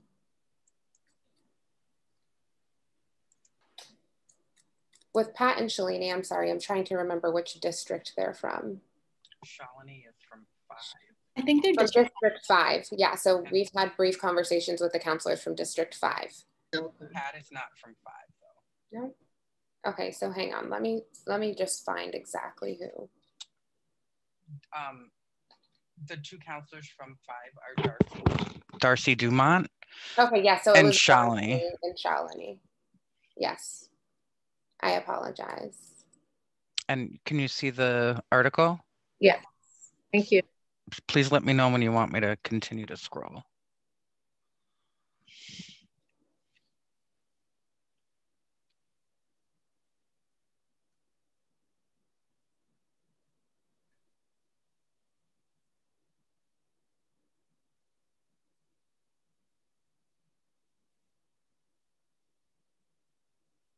Me- Mo- Ms. Moisten, is there a way to like email it to everybody? I can probably email the link to everybody. hmm Yeah, okay, why don't we do that to save time? Okay. So what I've done is I forwarded this, um, our press release, uh, release, the one I sent to everybody, to people in my network. I also sent to Indy, uh, the weekly newsletter that people get on weekend. Um, I'm asking, you know, people to also post on Facebook as well. So, and, you know, whatever we can do to make our last push, you know, before 21st will Yeah. be very helpful. Yeah, and we're still asking to, for the, to, to, to appeal to the town council to reject the budget and to keep CSWG, to, well, accept the budget, reject the budget, eh, you know, fully fund our recommendations and keep CSWG in place, right? Because Yeah. that's what I want to keep on putting on my um, social media. Yeah. So, okay, good. Um, I would like to also just pose a question to the group in light of Mr. Bockelman's comments from earlier. Um, one of the reasons that he stated that he wasn't interested in continuing the CSWG is because he needed um, a, a long-term standing group. And so um, I heard some conversation about like a successor group or all of those other things. And I'm wondering if we can, if we would be interested in just asking them to make the CSWG the long standing um, committee? Miss Pat? I think the name itself sounds very temporarily, you know, working group. It sounds like a temporary something. What I would like to request, you know, you know, to the town town council and also to the town manager is to keep our group, but we can toy around a different name. Um, so multiracial is fine because we have uh, Mr. Russ Vernon Jones. So, but yeah, I think one of the things we should do because we have so much work we're doing now is to even come up with what that successor group will do. You know, I, I've written some some stuff down just to myself, what I think, you know, is lacking in this town. We have a lot of committees, but we don't have any committee that really um, work around or, you know, that focus on BIPOC issues. We're going to have a DEI department, I get that.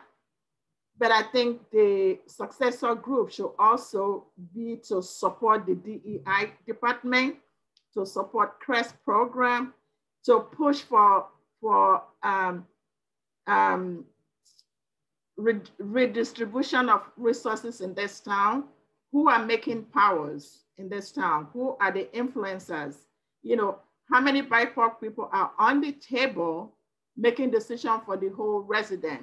So our group, then that group becomes a watchdog, like pointing out how is this, how, how is the, uh, the town revenue benefiting BIPOC community?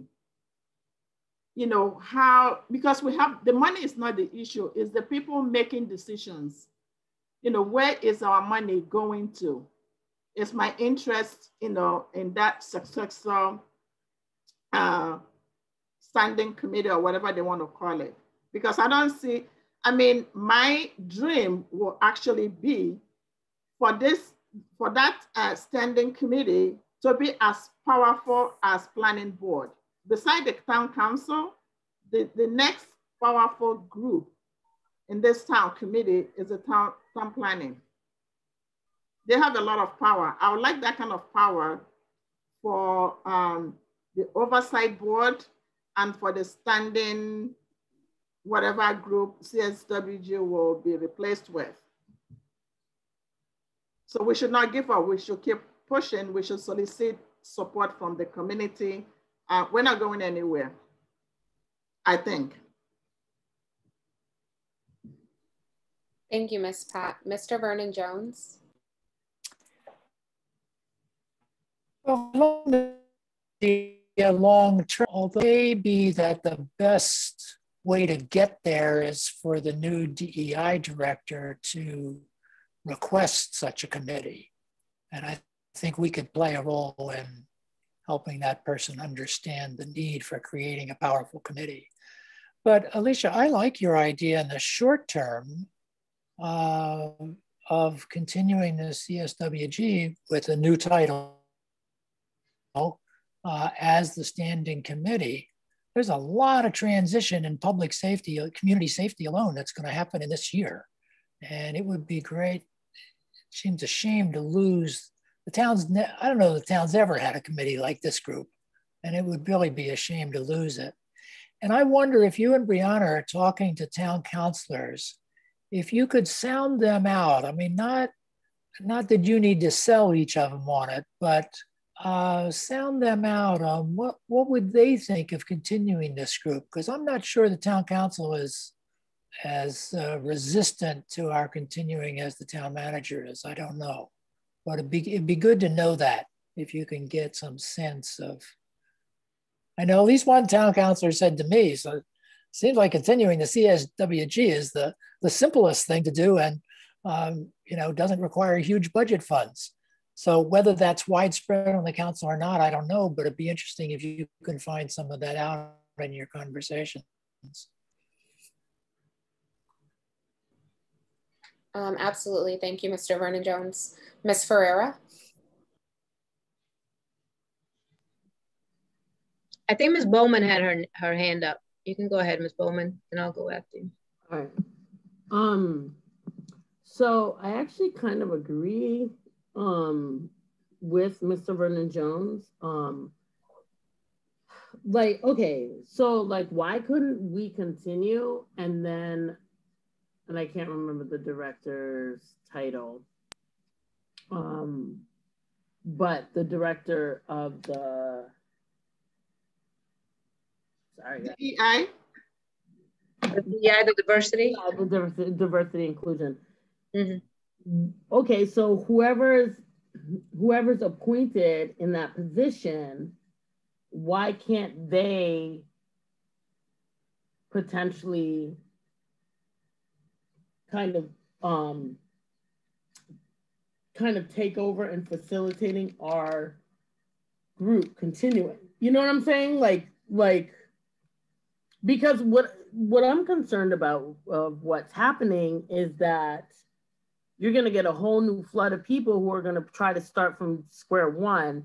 And that's one of those things that happens in Amherst is like, you start a committee and then the committee only has a certain amount of time and then when a certain amount of time is over then you get a new committee and the new committee starts all over again. Like this starting all over again this like re redefining the same thing in diff using different words. I can't remember what it's called in school when you say the same thing over and over again, but you use a different word to describe it. I don't know, Mr. Vernon Jones, you might remember, but um, that's what I feel like. Like we've been. You just described it perfectly, whatever the word is. but it's like it's like you know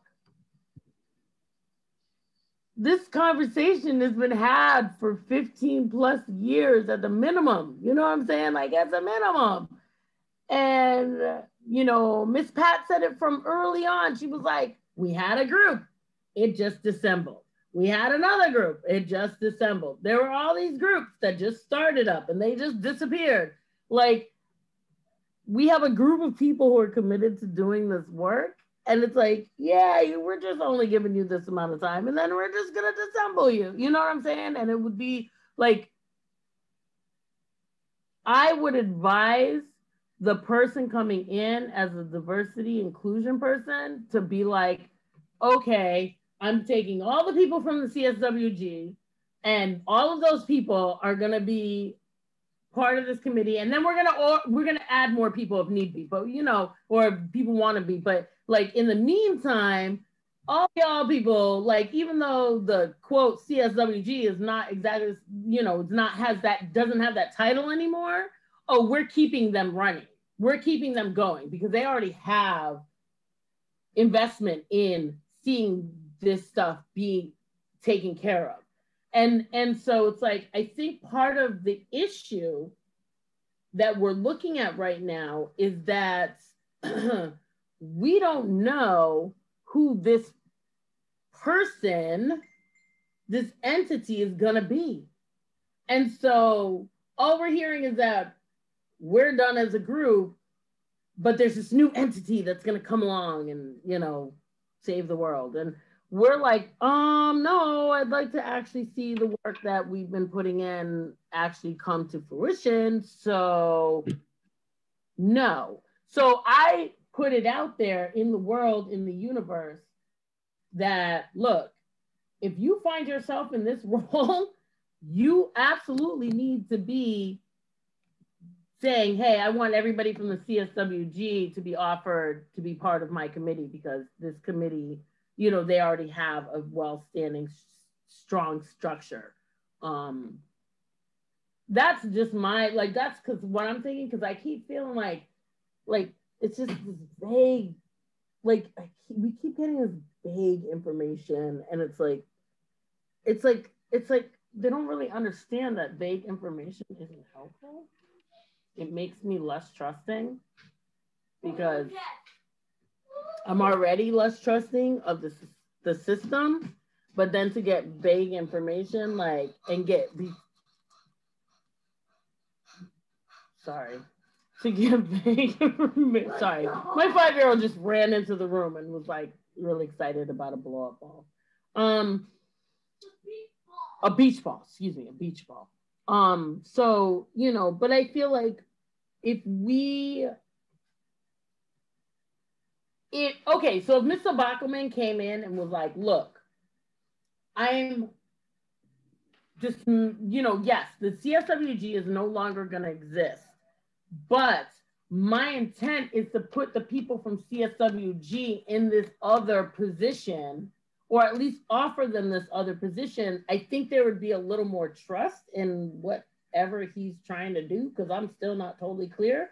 But like, I think there would be a little more trust in it because it would be like, okay, you're not just dissemble, dis, dis, um, dismembering our work, and we're we're telling you we're not done. Like here, like here we go. We're not. We're telling you that this work is not done, and we're telling you, and you're not listening. You know what I'm saying? Like, and just to be devil's advocate, maybe he is listening and maybe that's his intent, but like he's doing a crappy job of like getting that intent.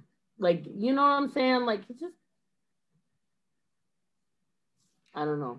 I don't know. I'm just trying to be devil's advocate. I'm trying to be, also I'm tend to be a relatively positive person about life and leave people where, you know, try to be like, look, you know, meet people where they're at and whatnot. And like, like I get there's a whole lot of brownness that he's not gonna get because he's not brown, but like at the same time, um,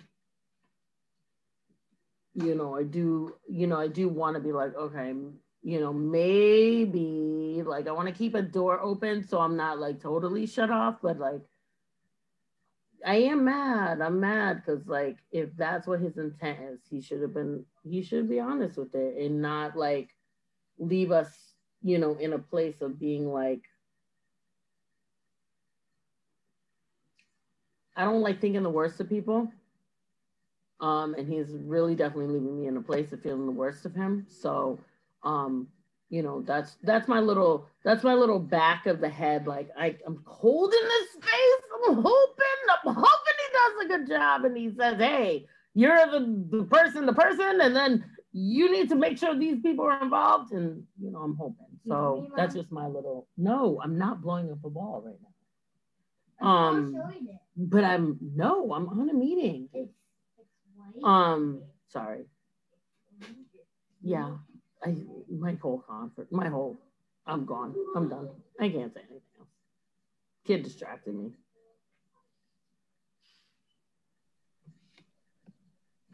Thank you, Ms. Bowman. Ms. Ferreira. So um, yeah, I mean, I was hearing everyone, and I think that obviously a lot of good ideas. My only thought though is that that if we wait for the DEI, you know, one that's going to take a long time. Two, we wanted to take enough time to find a qualified person like Miss, uh, uh, like Dr. Demetria Shabazz uh, pointed out, that we really need to take our time in terms of the job description and making sure that there's adequate and full recruitment and making sure that they that that this director has the coordinator in place and also an administrative assistant because they don't even have that. Remember, we had put that in our recommendations. They didn't put that in, and that that department is going to have resources to be able to do the work because obviously a DI director without resources, without the power, without the wherewithal, it's not going to be able to be effective. So anyway, so that's going to take time. That's basically my kind of bottom line on it. So to kind of wait for the DEI to then put together the structure, my thing is there's going to be a gap. So my my you know, and I have I've been kind of consistent with that, is that basically CSWG, and, and me in the beginning, right, when I got into this, I wasn't even sure, all right? I thought, okay, CSWG, we do it up, up until our, our end of our charge. But it became very clear to me, right, because since the town and, and, and a lot of these people in power are resistant to putting these things in place, it became very clear to me that there is a need for CSWG to, to continue because if not, these recommendations, all of our recommendations will not be put into fruition. You see what I'm saying? So for me, that's the thing. I don't want there to be a, a gap because we need to just seamlessly continue until, yes, until when and if there's a new, a new group to, to, to, to flourish from this. That's fine. But until then, CSWG needs to continue. In terms of the name, I think it would probably be good to kind of still keep a part of the name because people already, you know, uh, um, think of CSWG and they think of us, right? So if we change it too much at this point, without all our recommendations being in place, that can also lose some traction. But I hear you, like maybe we could do, you know, uh, um, community safety uh, standing committee or community safety committee or whatever, so that it turns into a committee as opposed to a working group, which just means temporary, right? Um, but but anyway, so so those are my thoughts about it, and I think obviously we need to still keep mulling and, and thinking about it. But I think we want to um, make sure that we don't have a gap. Because I'm, I'm pretty sure that if there's a gap, that will be that. you know, there won't be a group until sometime six months, a year later, or whatever, or if it ever happens. The other thing, though, too, because I'm seeing the time, is um, about the uh, proposal for the consultants. I know we haven't touched base on that, so I just want to make sure that we don't forget to do that. Thank you, Ms. Ferreira. I just would like to also hear from Ms. Pat. So I'll be very brief because I know, you know, we've run into like two hours already almost. So a couple things. I hear Mr. Russ about having whoever the DEI uh, to establish the group. In ideal world, I would say yes. However, I don't think I've made myself clear enough. I feel that a group like ours will be a great marketing tool when we're recruiting to say that it's a strong BIPOC committee, a multiracial group that is really committed in diversity, equity, and inclusion. If I'm a candidate, for example, know about something like that, I'll be, wow, this community is very strong. They're really serious. They want, you know, things like that. I think we should think about it as one benefit is as a recruiting tool. There's no guarantee that we will get people locally. It would be great if we can get, you know, we can hire local people. That would be wonderful. But what if we have, you know, strong candidates from out of state even, who don't know much about Ames, but maybe they will read up for the interview. What if that, uh, that uh, the candidate that everybody's excited about turn out to be somebody like Irv Rhodes and say, I don't want this group. I'm not creating that. What if this person, you know, is great and coming and is dealing with only white um, administrators around her or him, and then he or she then become part of the status quo in town. There are so many what if, what if, what if. So there should not be any gap in time from CSWG to whatever the another group. I hear what you're saying, Ms. Ferreira, but you know, name is very powerful. The standing committee, in my thinking, has to encompass many things. Community safety is wonderful, but it should go beyond that.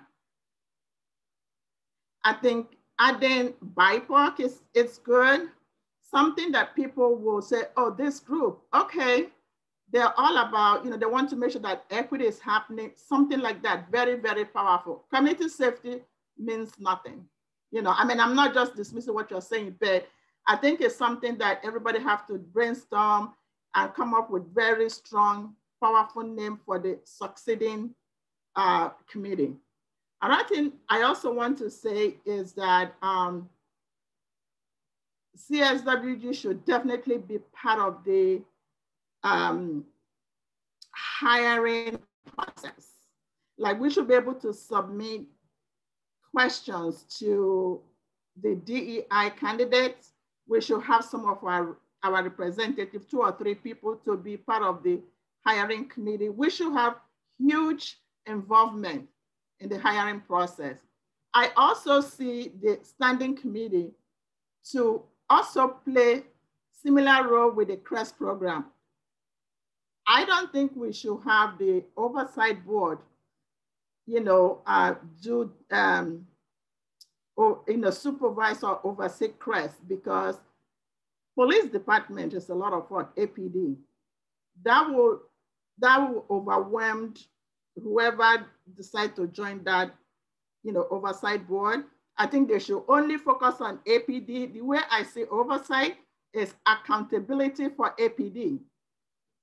I see this standing committee to be named something as a group that will support CRESS program, DEI department, um, multicultural BIPOC uh, center, youth empowerment, all that stuff, ensuring that uh, BIPOC folks are getting, you know, equal share of resources in this town and so on and so forth. That's the way I say it. So we should not assume that DEI that gets hired will uh, automatically, you know, assemble some somebody because we're going to have people like Irv Rhodes that would tell the EEI and said, you know, I've, I've been a black leader in this town for a long time.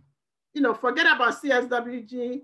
I criticize them. They don't know what they are doing. So we have to have something in place and market our group as a resource to whoever gets this job. Who wouldn't want to apply then if they know that they have support? Because I remember Alisa Brewer, the, council, uh, the um, town uh, council member who said that we hire people of color, they go. of course they leave because they don't have the support.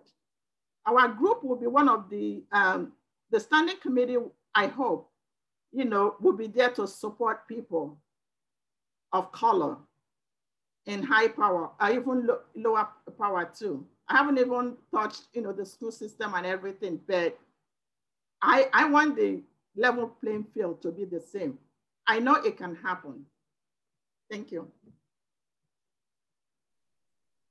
Thank you, Ms. Pat. Um, and then I just wanted to say a couple of things just in light, because uh, I would like to move to the next thing on the agenda, which, which would be a strategy for the second part of our charge, but it also ties into the next item on the agenda, which is the IFB in the second part. And so I think that like right at this moment, we we still don't have confirmation that funds will be available for us to use to execute the second part of the IFB. Um, and I'm not sure if everybody had a chance to view Monday's council meeting, town council meeting, um, but the discussion really seemed like that that was not going to be a possibility for us to get funds to complete the second part of the charge. Um, and so I'm wondering if we want to move forward with other aspects until we can get another time to speak with the town manager. I'm hoping he'll be available for our meeting next week, but I, I think we still need a, a bit of clarification as to what exactly we're going to be able to do and exactly how much time we're going to have. Um, Ms. Ferreira? So I guess one, uh, can you, because I didn't hear the Monday meeting, um, so if you could just like say specifically what they said in terms of the budget for that. Um, but even besides that, even though I want to hear what they say, but besides that though, I think we still need to press forward and just kind of, you know, update this um, IFB and and submit it to the, the, the town manager. And then, like you said, still have a, a, conversation with him and be like, this is what we need, you know, as well as what Ms. Moisen brought up last week, which is we still continue to do our work. You know, obviously it's not like we're going to stop doing our work, we're going to continue to do it, but still keep pressing for the consultant um, nonetheless, because obviously we saw how important they were for the first part of the charge. So why is it that we wouldn't have the same, you know, um, you know, people uh, available to be able to assist us with the second part of our charge, which is equally as important. And that's what I don't think the town manager is understanding, you know, is that that is equally as important as the first part of our charge. So yeah, my, back to my original question, um, what, what did they say specifically, but hopefully we could still press on.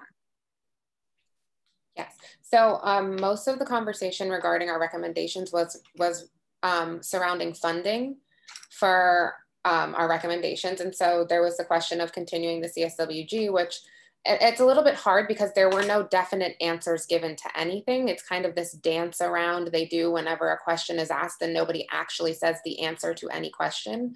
But that leads me to believe that the answer will be no, because if funding is still being questioned and nobody's giving any direction and we're coming to the, to the um, deadline, then I, I'm, it's very telling of the intentions and the urgency that is behind the actions that are happening and the people that need to make this happen for us because we we can't just make funding appear. Um, and so there's there's been extensive extensive conversation regarding the funding specifically for the CRESS program program. Um, they're not interested in, in cutting further cutting the police budget to fund it. So they've been instructed to find funds outside of the police budget specifically to help fund this. Um, there was a lot of talk about how they're only funding it for a half of a fiscal year be just because of the way that the budget's looking. And then they are looking at funding for next year and it would be fiscal year 22, which is very complicated because that's when all of the capital investment pro um, projects are due to start. So there actually was a lot of concern about how this funding will even continue for the next fiscal year. Um, sorry, I took notes on this, but they're kind of all over the place. So I'm trying to um, browse through them and see what's important to your question that you asked. Um, and Brianna, feel free to, to fill in if there's anything that I'm missing here. Um, so, so I'm gathering that you're saying that they wouldn't be um, funding us for the consulting because since they're not going to be done, doing the other. Yeah, so the discussion was just that there's really not any funds available. There was discussion of being able to assess revenue, but then that revenue not being available to use for um, our charge until fiscal year 23, actually, if, if there is revenue available for that year for it to be used um, for looking into things like more responders that they don't think that that would even be able to be assessed until fiscal year 23. Um, so yeah, there, there was a lot of, I would highly suggest if you guys have the time to go back and watch the meeting, that one as well as the, the finance committee meeting where they did pass the motion to instruct the town manager to add two more positions and to also report back with funding options. I think there was a lot of discussion specific to our group that may be helpful for us to know moving forward. And it's kind of hard because it's a, there's a lot being talked about with us not there. Um, there was a lot of questions comparing us to other towns who are doing similar things and they were being answered by uh, Mary Beth. So she answered a lot of questions surrounding the implementation at, um, of the program. And who's Beth again? Who's Mary Beth again? Um, so she is part of the implementation team. She, I think, was the director of the senior center. Uh, she has a background in social work, and so okay, I know who yeah. she is. Was the other thing? Okay, she was a social work. Yeah, yeah so she answered a majority of the questions that came from the town council in regards to our program. Um, there was a lot of discussion about outsourcing the program because of the success in other places um, because then we would kind of eliminate the the financial need that would come with the training and hiring if we outsourced it to people who are already trained um, to do these kinds of things. So there was th that was the discussion that was happening um, at the Monday meeting, and so I mean it's just very discouraging. I can't lie. There we did have some support from council members. There were um, um council members who did bring up things like why is it still being bunched as a social service when it should be community safety? There, there were council members who did voice those concerns, but generally overall, the discussion was that the funding is very scarce and we don't know where we're going to find it from, where, where it's going to come from, and also for it to not come from the police budget. Can I say something else that, um, and this is part of the reason why, I'm sorry, I, I apologize to people I jumped in front of, um, but I'm afraid I'm gonna forget this. Um, the woman Sarah, I can't remember her last name, but she actually had to bring the focus back to BIPOC communities because they started getting into really talking about how um, like disability, mental health, like they started talking about those things and which which even though I know BIPOC community struggles with some of those things, we have to recognize that it moves us out of the out of the focus. Um, because when you start talking about disabilities, like when you start talking about homelessness, you know, it it takes the focus off of what we're dealing with and what we're trying to rectify is systemic racism and how totally disproportionately, you know, BIPOC people, especially Black people, are treated within this country. And so one of the members, Sarah, was like, look, we're talking about all this other stuff, but this is what we need to be talking about. And she really did try to, re, uh, you know, round it back in and be like, you guys, you guys are taking, you guys are literally taking the focus off of who the focus should be on. Um, so I had to really commend her for that. Um, but one of the question, another question that, you know, when, when watching this was like listening to a whole, and this is why I said what I said is listening to a whole bunch of white people determine the need of people of color, the need of people that they have, they don't walk in their shoes. They don't really have, it's like telling a person, you know, who has a broken foot, you know, just, just try walking on it, you know, some people are able to walk. I have a friend who broke her foot and walked on it for a whole month. But not everybody could do that. Not that's not an, a thing for everybody. So I that's one thing that really came up. And you know, the other pieces with the outsourcing is that who are we outsourcing it to? We're not outsourcing it to a group people of color. We're outsourcing it to a group of white people. Mm-hmm. So you're going from what feels like an unsafe situation to an other unsafe situation. And that's the that's what I was like really trying to convey because that I that's information that I was like coming in my head when I was watching this. I was just like, "Oh my god, like you literally want to outsource it to other white people." Okay. So that's it. That's all. I apologize again to people I jumped up. No worries, Miss Bowman. Um, I believe it may have been Mr. Vernon Jones, Miss Ellen, and then Miss Pat. Yes, no, no, worries on jumping in front of me anyway. Um, I think it is un for the second part of our charge. I think we should still ask for it. We should put a whole lot of energy in there. I think it's key that we decide we're going to go ahead part our charge as to the best we can and do the parts we think are most important. And I would caution against using the second IFB that we wrote. That was written way back in March. My opinion, it's a little out of date uh, and I would ask that we try to combine that with the list of agenda items that I propose that's in the uh, packet today. Uh, and that for next meeting, if there's anything missing in that list, uh, let's get that out in the open and get a list that includes everything we want to do, everything we'd like to make a recommendation on by the and then let's let's get to work on it. We'll ask for help, but I think we need to get to work on it ourselves as best we can.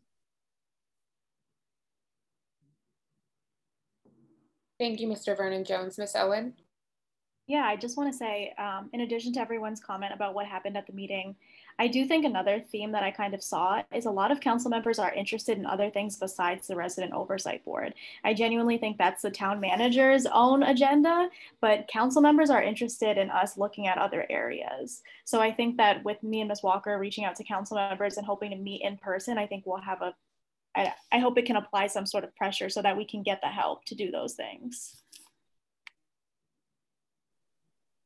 Thank you, Miss Owen. Miss Pat?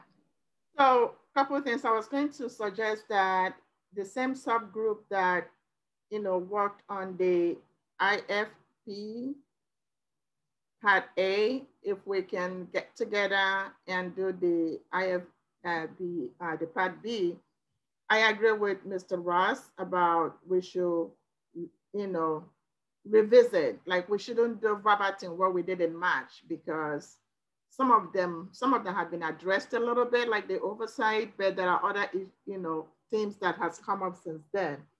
Um, but we should definitely figure out, you know, themes or topics we want to be working on while we still press on getting uh, help uh, with consultant. One of the things I was thinking is complaint process. Um, when people are wronged by the police, what is the process? At least it's something that we can start working on. I mean, that's a, a, a whole, you know, huge in itself, but um, we shouldn't be discouraged because they say there's no money to pay for another consultant just because it ha, you know, it's something that will benefit BIPOC. We should not buy into what they're saying. We should just, you know, create that and submit to the manager and said, you know, this is what we need help with, you know, is my thinking. In terms of nonprofit, and I know this would directly impact my business, but I do business with these people. Let me ask you guys, if you're, you know, so, you know, when when when the town puts out the CRESS position, guess who is going to lose? Some of these nonprofit people because some of their staff will prefer working for CRESS. So it will make sense that some of them may be suggesting to the town that they can, they can contract out CRESS so that they will continue to uh, marginalize BIPOC folks that, they, that work for them. So they don't want any competition. They're even struggling with staffing as we speak you know, with the COVID and everything. And then the town council is even thinking about contracting out for the sake of money. Are you kidding me? When it comes to BIPOC stuff, all of a sudden there is no money. What, what about the free cash, the extra? There is money, is the will, is who, who is making the decision. So I will not support nonprofit taking over CRESS. Like Tashina stated, it's like from police that we're afraid of and don't trust to white-led organizations, ServiceNet, CHD, and so on and so forth. I mean, we just wasted our time for several months doing this work, only for the all-white, almost all-white town council and white town manager. And the people, the person you guys are ignoring that has a lot of power and you don't, and you don't, you may not want to, I don't want to say that, the finance director. He did the similar thing with special education, okay? When it comes to marginalized groups, this finance director will say we don't have any money because marginalized group will not do anything to him. Guess, you know, people he answers to, people that looks like him who are powerful. This guy has made millions from his salary to us, and then all of a sudden there is no money to do BIPOC stuff. We shouldn't only be hammering on the town manager and the town council. The finance director has incredible amount of, of, of power in how money is dispensed in this town. I know so because I have children in that field. Being a finance direct, director is a big deal. And this guy has no interest in BIPOC people or special education people. I know what I'm talking about. So we should not just focus our, our attention to only town manager and the, and, the, and the town council is the point I'm trying to make all of a sudden there is no money, but they have, you know, cash re reserve. He made mistakes when he was uh, presenting, oh, I forgot about this uh, uh, item. I forgot about this, I miscalculated. But he doesn't miscalculate when it comes to uh, uh, project that involves uh, powerful people, golf course, and other stuff. I'm done. Thank you, Ms. Pat. Um, so I agree. I mean, I think we should absolutely continue our charge. I just wanted us to keep that in our minds, the types of conversations that are happening just moving forward. Um, because I think it matters because it impacts our work a lot. And it's it's been hard for me as a co-chair because I haven't always been able to be at the meetings. And then I feel like I'm missing really important things that makes it hard for me to like guide these conversations in a way that I feel like I should if I don't know what's happening on it within the town council and with the finance committee and with the town manager because they are having a lot of conversations surrounding our recommendations that we are not present at. And so I just want to make sure that we keep that in mind because a lot of the questions that we ask Mr. Bockelman in these meetings are questions that they have he has already answered to the town council in me, a meeting that happened a couple of days ago, but then he'll sit here in this meeting and not give us an answer. So I think it's just important for us to, if we can view them, if not, to catch up when we have time, or if one member could just report back to everybody else, just keep us in the loop as to what's happening because it is informing our work moving forward. Um, and then I just wanna also go back to Mrs. Pat's suggestion of having the subcommittee who worked on the first um, IFB get together. I think that would be um, a good suggestion if we want to just put that out to Mr. Bockelman. I also think that um, Mr. Vernon Jones' suggestion from earlier and seeing if we can just get three low bids for the most important things that we need done rather than going through the entire process again um, would be another good idea if that's something that we can get that document together and get that out to Mr. Bockelman as soon as possible, I think would be in our best interest. Um, and then I'm not, I, if you can remind me, Miss Pat, who was on the subcommittee, I think it was. It was actually you. Yeah, myself, you, and, okay. And so, we just do the same pattern, the same thing that we did in part A and just like update, you know, the stuff, I think. And I think Mr. Ross has done most of the work. I mean, the, the stuff in our packet right now that I see, yeah. Yes, and I think also at last week's meeting, we did ask um, the group members to just take a look back at the um, IFB that we had written before and see if they had any suggestions. So if any group members have other suggestions that they didn't get to voice, if you could please um, send those out to Miss Moisten, Miss Moisten, so that you can get them to us. Is that how, how it should go, Miss Moisten? Yes, okay. So, Miss Ferreira? So I guess, yeah, how, so what's the deadline so that I know, because yeah, you know, me with my job, you know, things get busy. So what's the deadline? So I know like by when, so you all will work on kind of like a draft, send it to us, and then you you uh, will give you all feedback or like you said, or do you want us to send you stuff right now so that you can put in a draft in terms of what we think would be important to include? I guess what's what's the way you want it? It will be both. You'll send us suggest, you know, what you like included, and then we, we put out draft. You guys take a look at it for your approval. Okay. Are we trying to do this so that it's it's into uh, Mr. Bockelman by next meeting?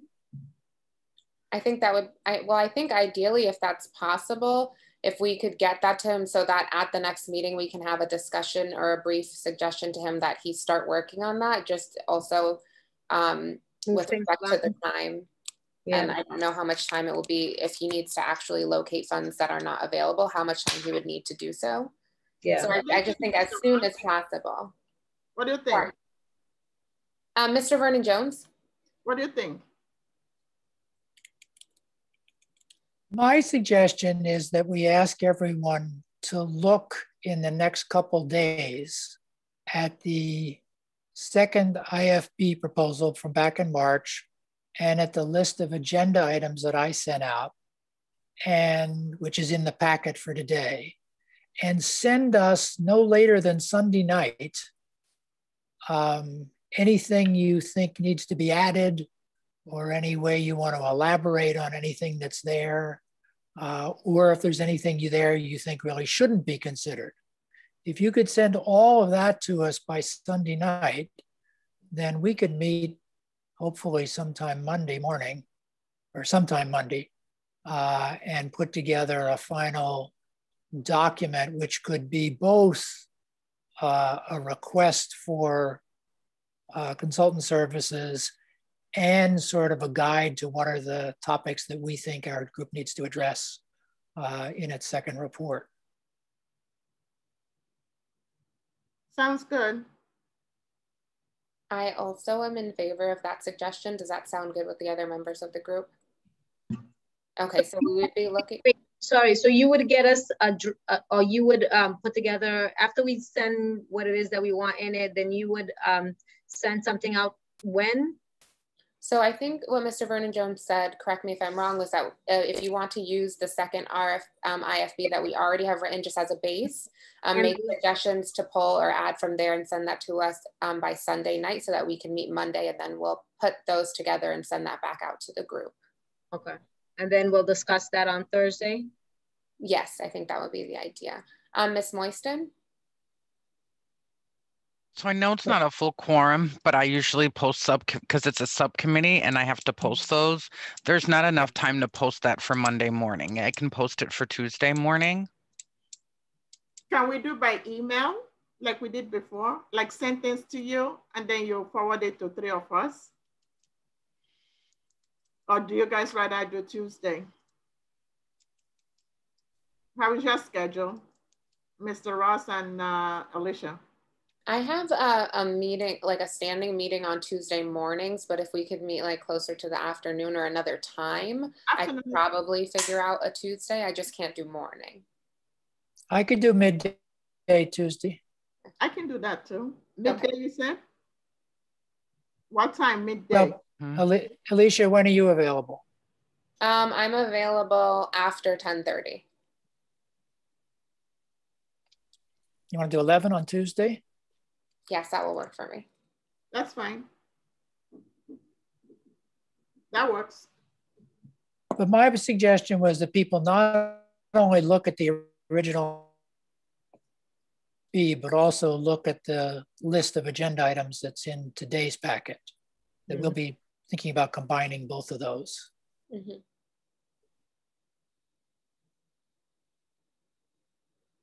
Sorry, did you say 11 or 11.30? 11. 11 a.m., yes. Thank you, Ms. Moisten.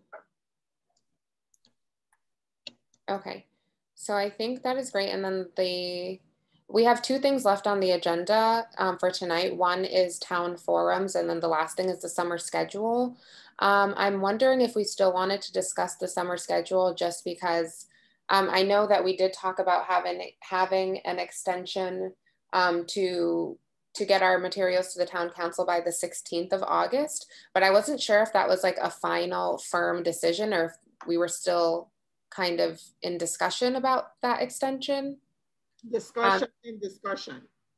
Yeah, I think it's still sort of in discussion. So I didn't know if we wanted to just move that to next week's agenda still, just because we don't have a definite answer on when our group will end. Well, I think that's that's the discussion. I mean, the only thing is that I guess what we what we could put for the next agenda is that if we can get an extension beyond uh, September 1st, that's what we would prefer. So that would be the first question. If not, then August 16th is when we'd have to get the recommendations in so we can we can uh, present to the town council on the 23rd.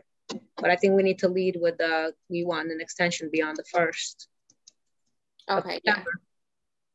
I agree. And then I um, and so I didn't know if you guys wanted to go over a summer schedule or if you just wanted to continue meeting weekly. Yeah, I mean, I, I I say meet weekly, and then whoever can't meet, like I know I won't be able to meet a couple of times during the summer. Um, then we don't, you know, you don't meet. But I know Miss Pat, you had said every two weeks, so I know it's more the will of the group. Yeah, so that way people will you know, have a breather, you know, still be able to, you know, I don't know about other people, but if people think we should still continue with weekly, whatever the majority says, I just feel like summer, that is the feeling of, you know, summer, relax, you know, you're still working, but it's, I don't know, vacation time for people and stuff like that. So people coming over, whatever, yeah. What do, what do other folks uh, think so I, I still say weekly and then take your time. Miss Pat was thinking maybe a, a summer schedule. What do other folks think? Miss Owen? If we can get an extension, I think we could do every other week, but just because we're on such a short timeline, I think we have to do it every week. Um, and we can just catch each other up for those of us that can't meet when they're out of town or, yeah.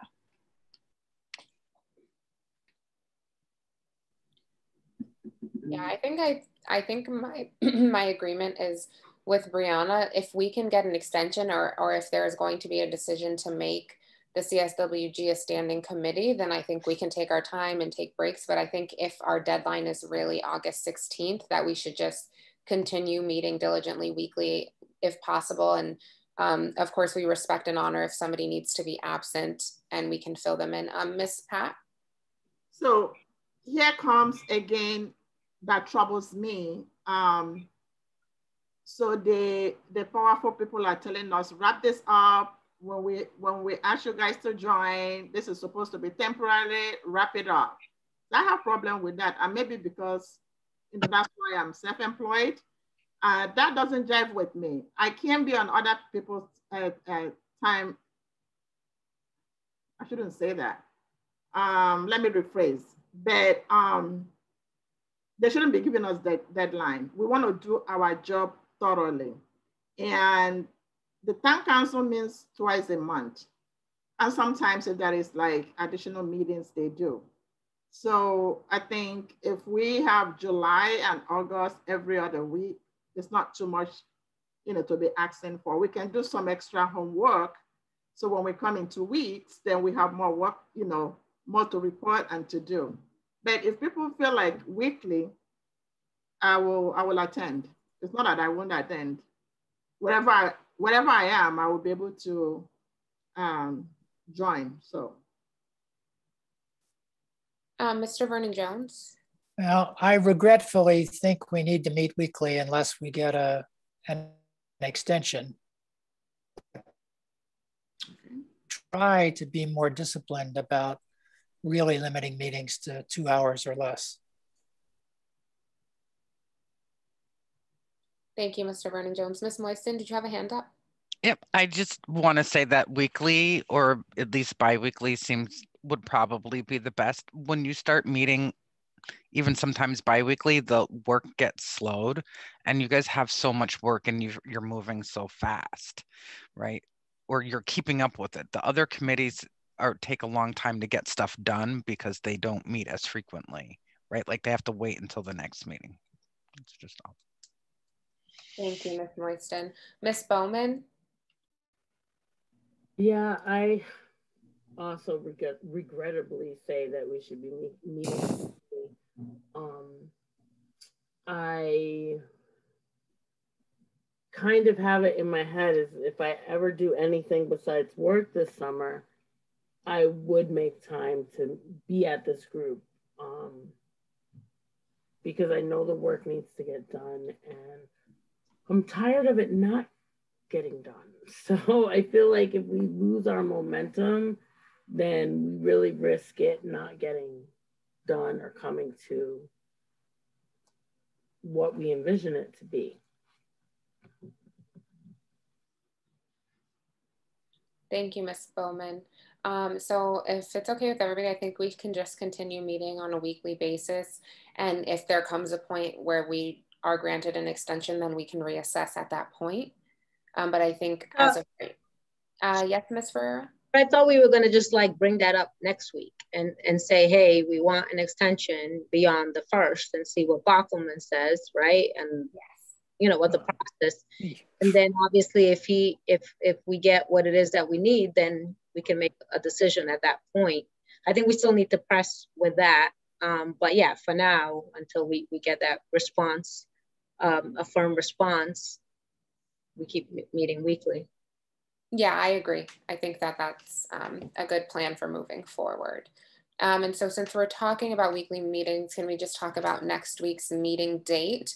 Um, is everybody okay to meet next Thursday? Are we going to continue to have the meetings Thursday at 5.30? Mm -hmm. Yes. Okay. Ms. Bellman, do you still have your hand up?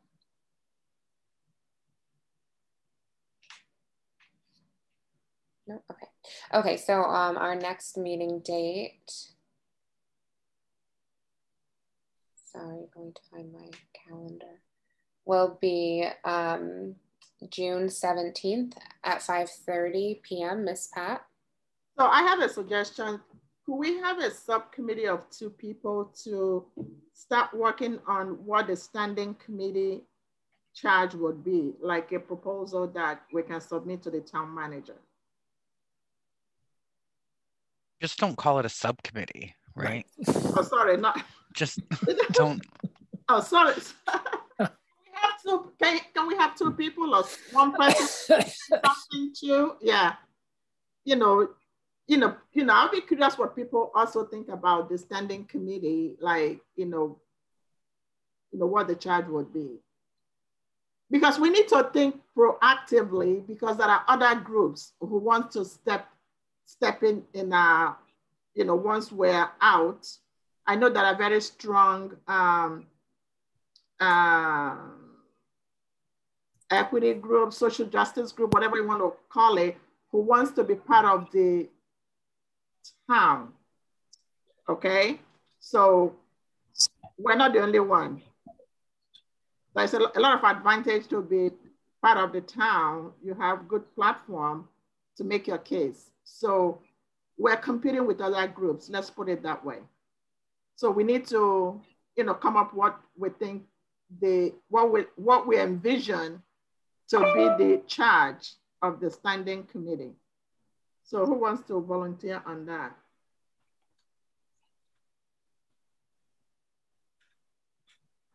Who wants to help me? I can do that with you, Miss Pat. Huh? I, I would be willing to if nobody else. Um... Okay. Okay. Can you, uh, you guys give us two weeks to report back or next week? Do you guys want it next week? I'm sorry, but I'm going to need to go tonight. Huh? I'm sorry, but I need to leave okay. uh, tonight. Uh, but uh, this group, let's keep going. You're freezing. Thank you, Mr. Vernon Jones. Thank you. Yeah, This would be fine. We wouldn't need to have it for next week. Yeah, I'm in agreement. I, I think it's a good idea to get started on because that's um, one of the larger questions at hand, it seems like. Um, but I think that um, there are other things that we should have available for for next week, and then we can look at that for the following week. Um, okay, and so um, I just wanted to see, is there anything any other members would like to um, discussed that we didn't anticipate within 24 hours of our meeting. No. Okay, and so with all of our business, uh, yes, Miss Ferreira? Just to think about, um, I had been the one that had put town forums on there, just to think about that if we are gonna do town forums, we probably need to select dates so that we can put that, especially with vacation schedules and stuff like that, it'll be important to kind of think about that. But obviously we don't have to do it now. Just want to put it in everybody's mind. Yes, thank you, Ms. Fur. I'm sorry I skipped over that one. So I think um, my idea was that uh, we would be a little bit in a better position to discuss that next week once we have the IFB written out and we know exactly what we're going to be asking for a different party to do, then we can decide, hopefully. So if that's okay with you, Ms. Fur, I'll add that to the agenda for next week. Excellent. Thank you. Okay, great. Um, so with all of our business complete tonight, I would like to move to adjourn the meeting. I seconded.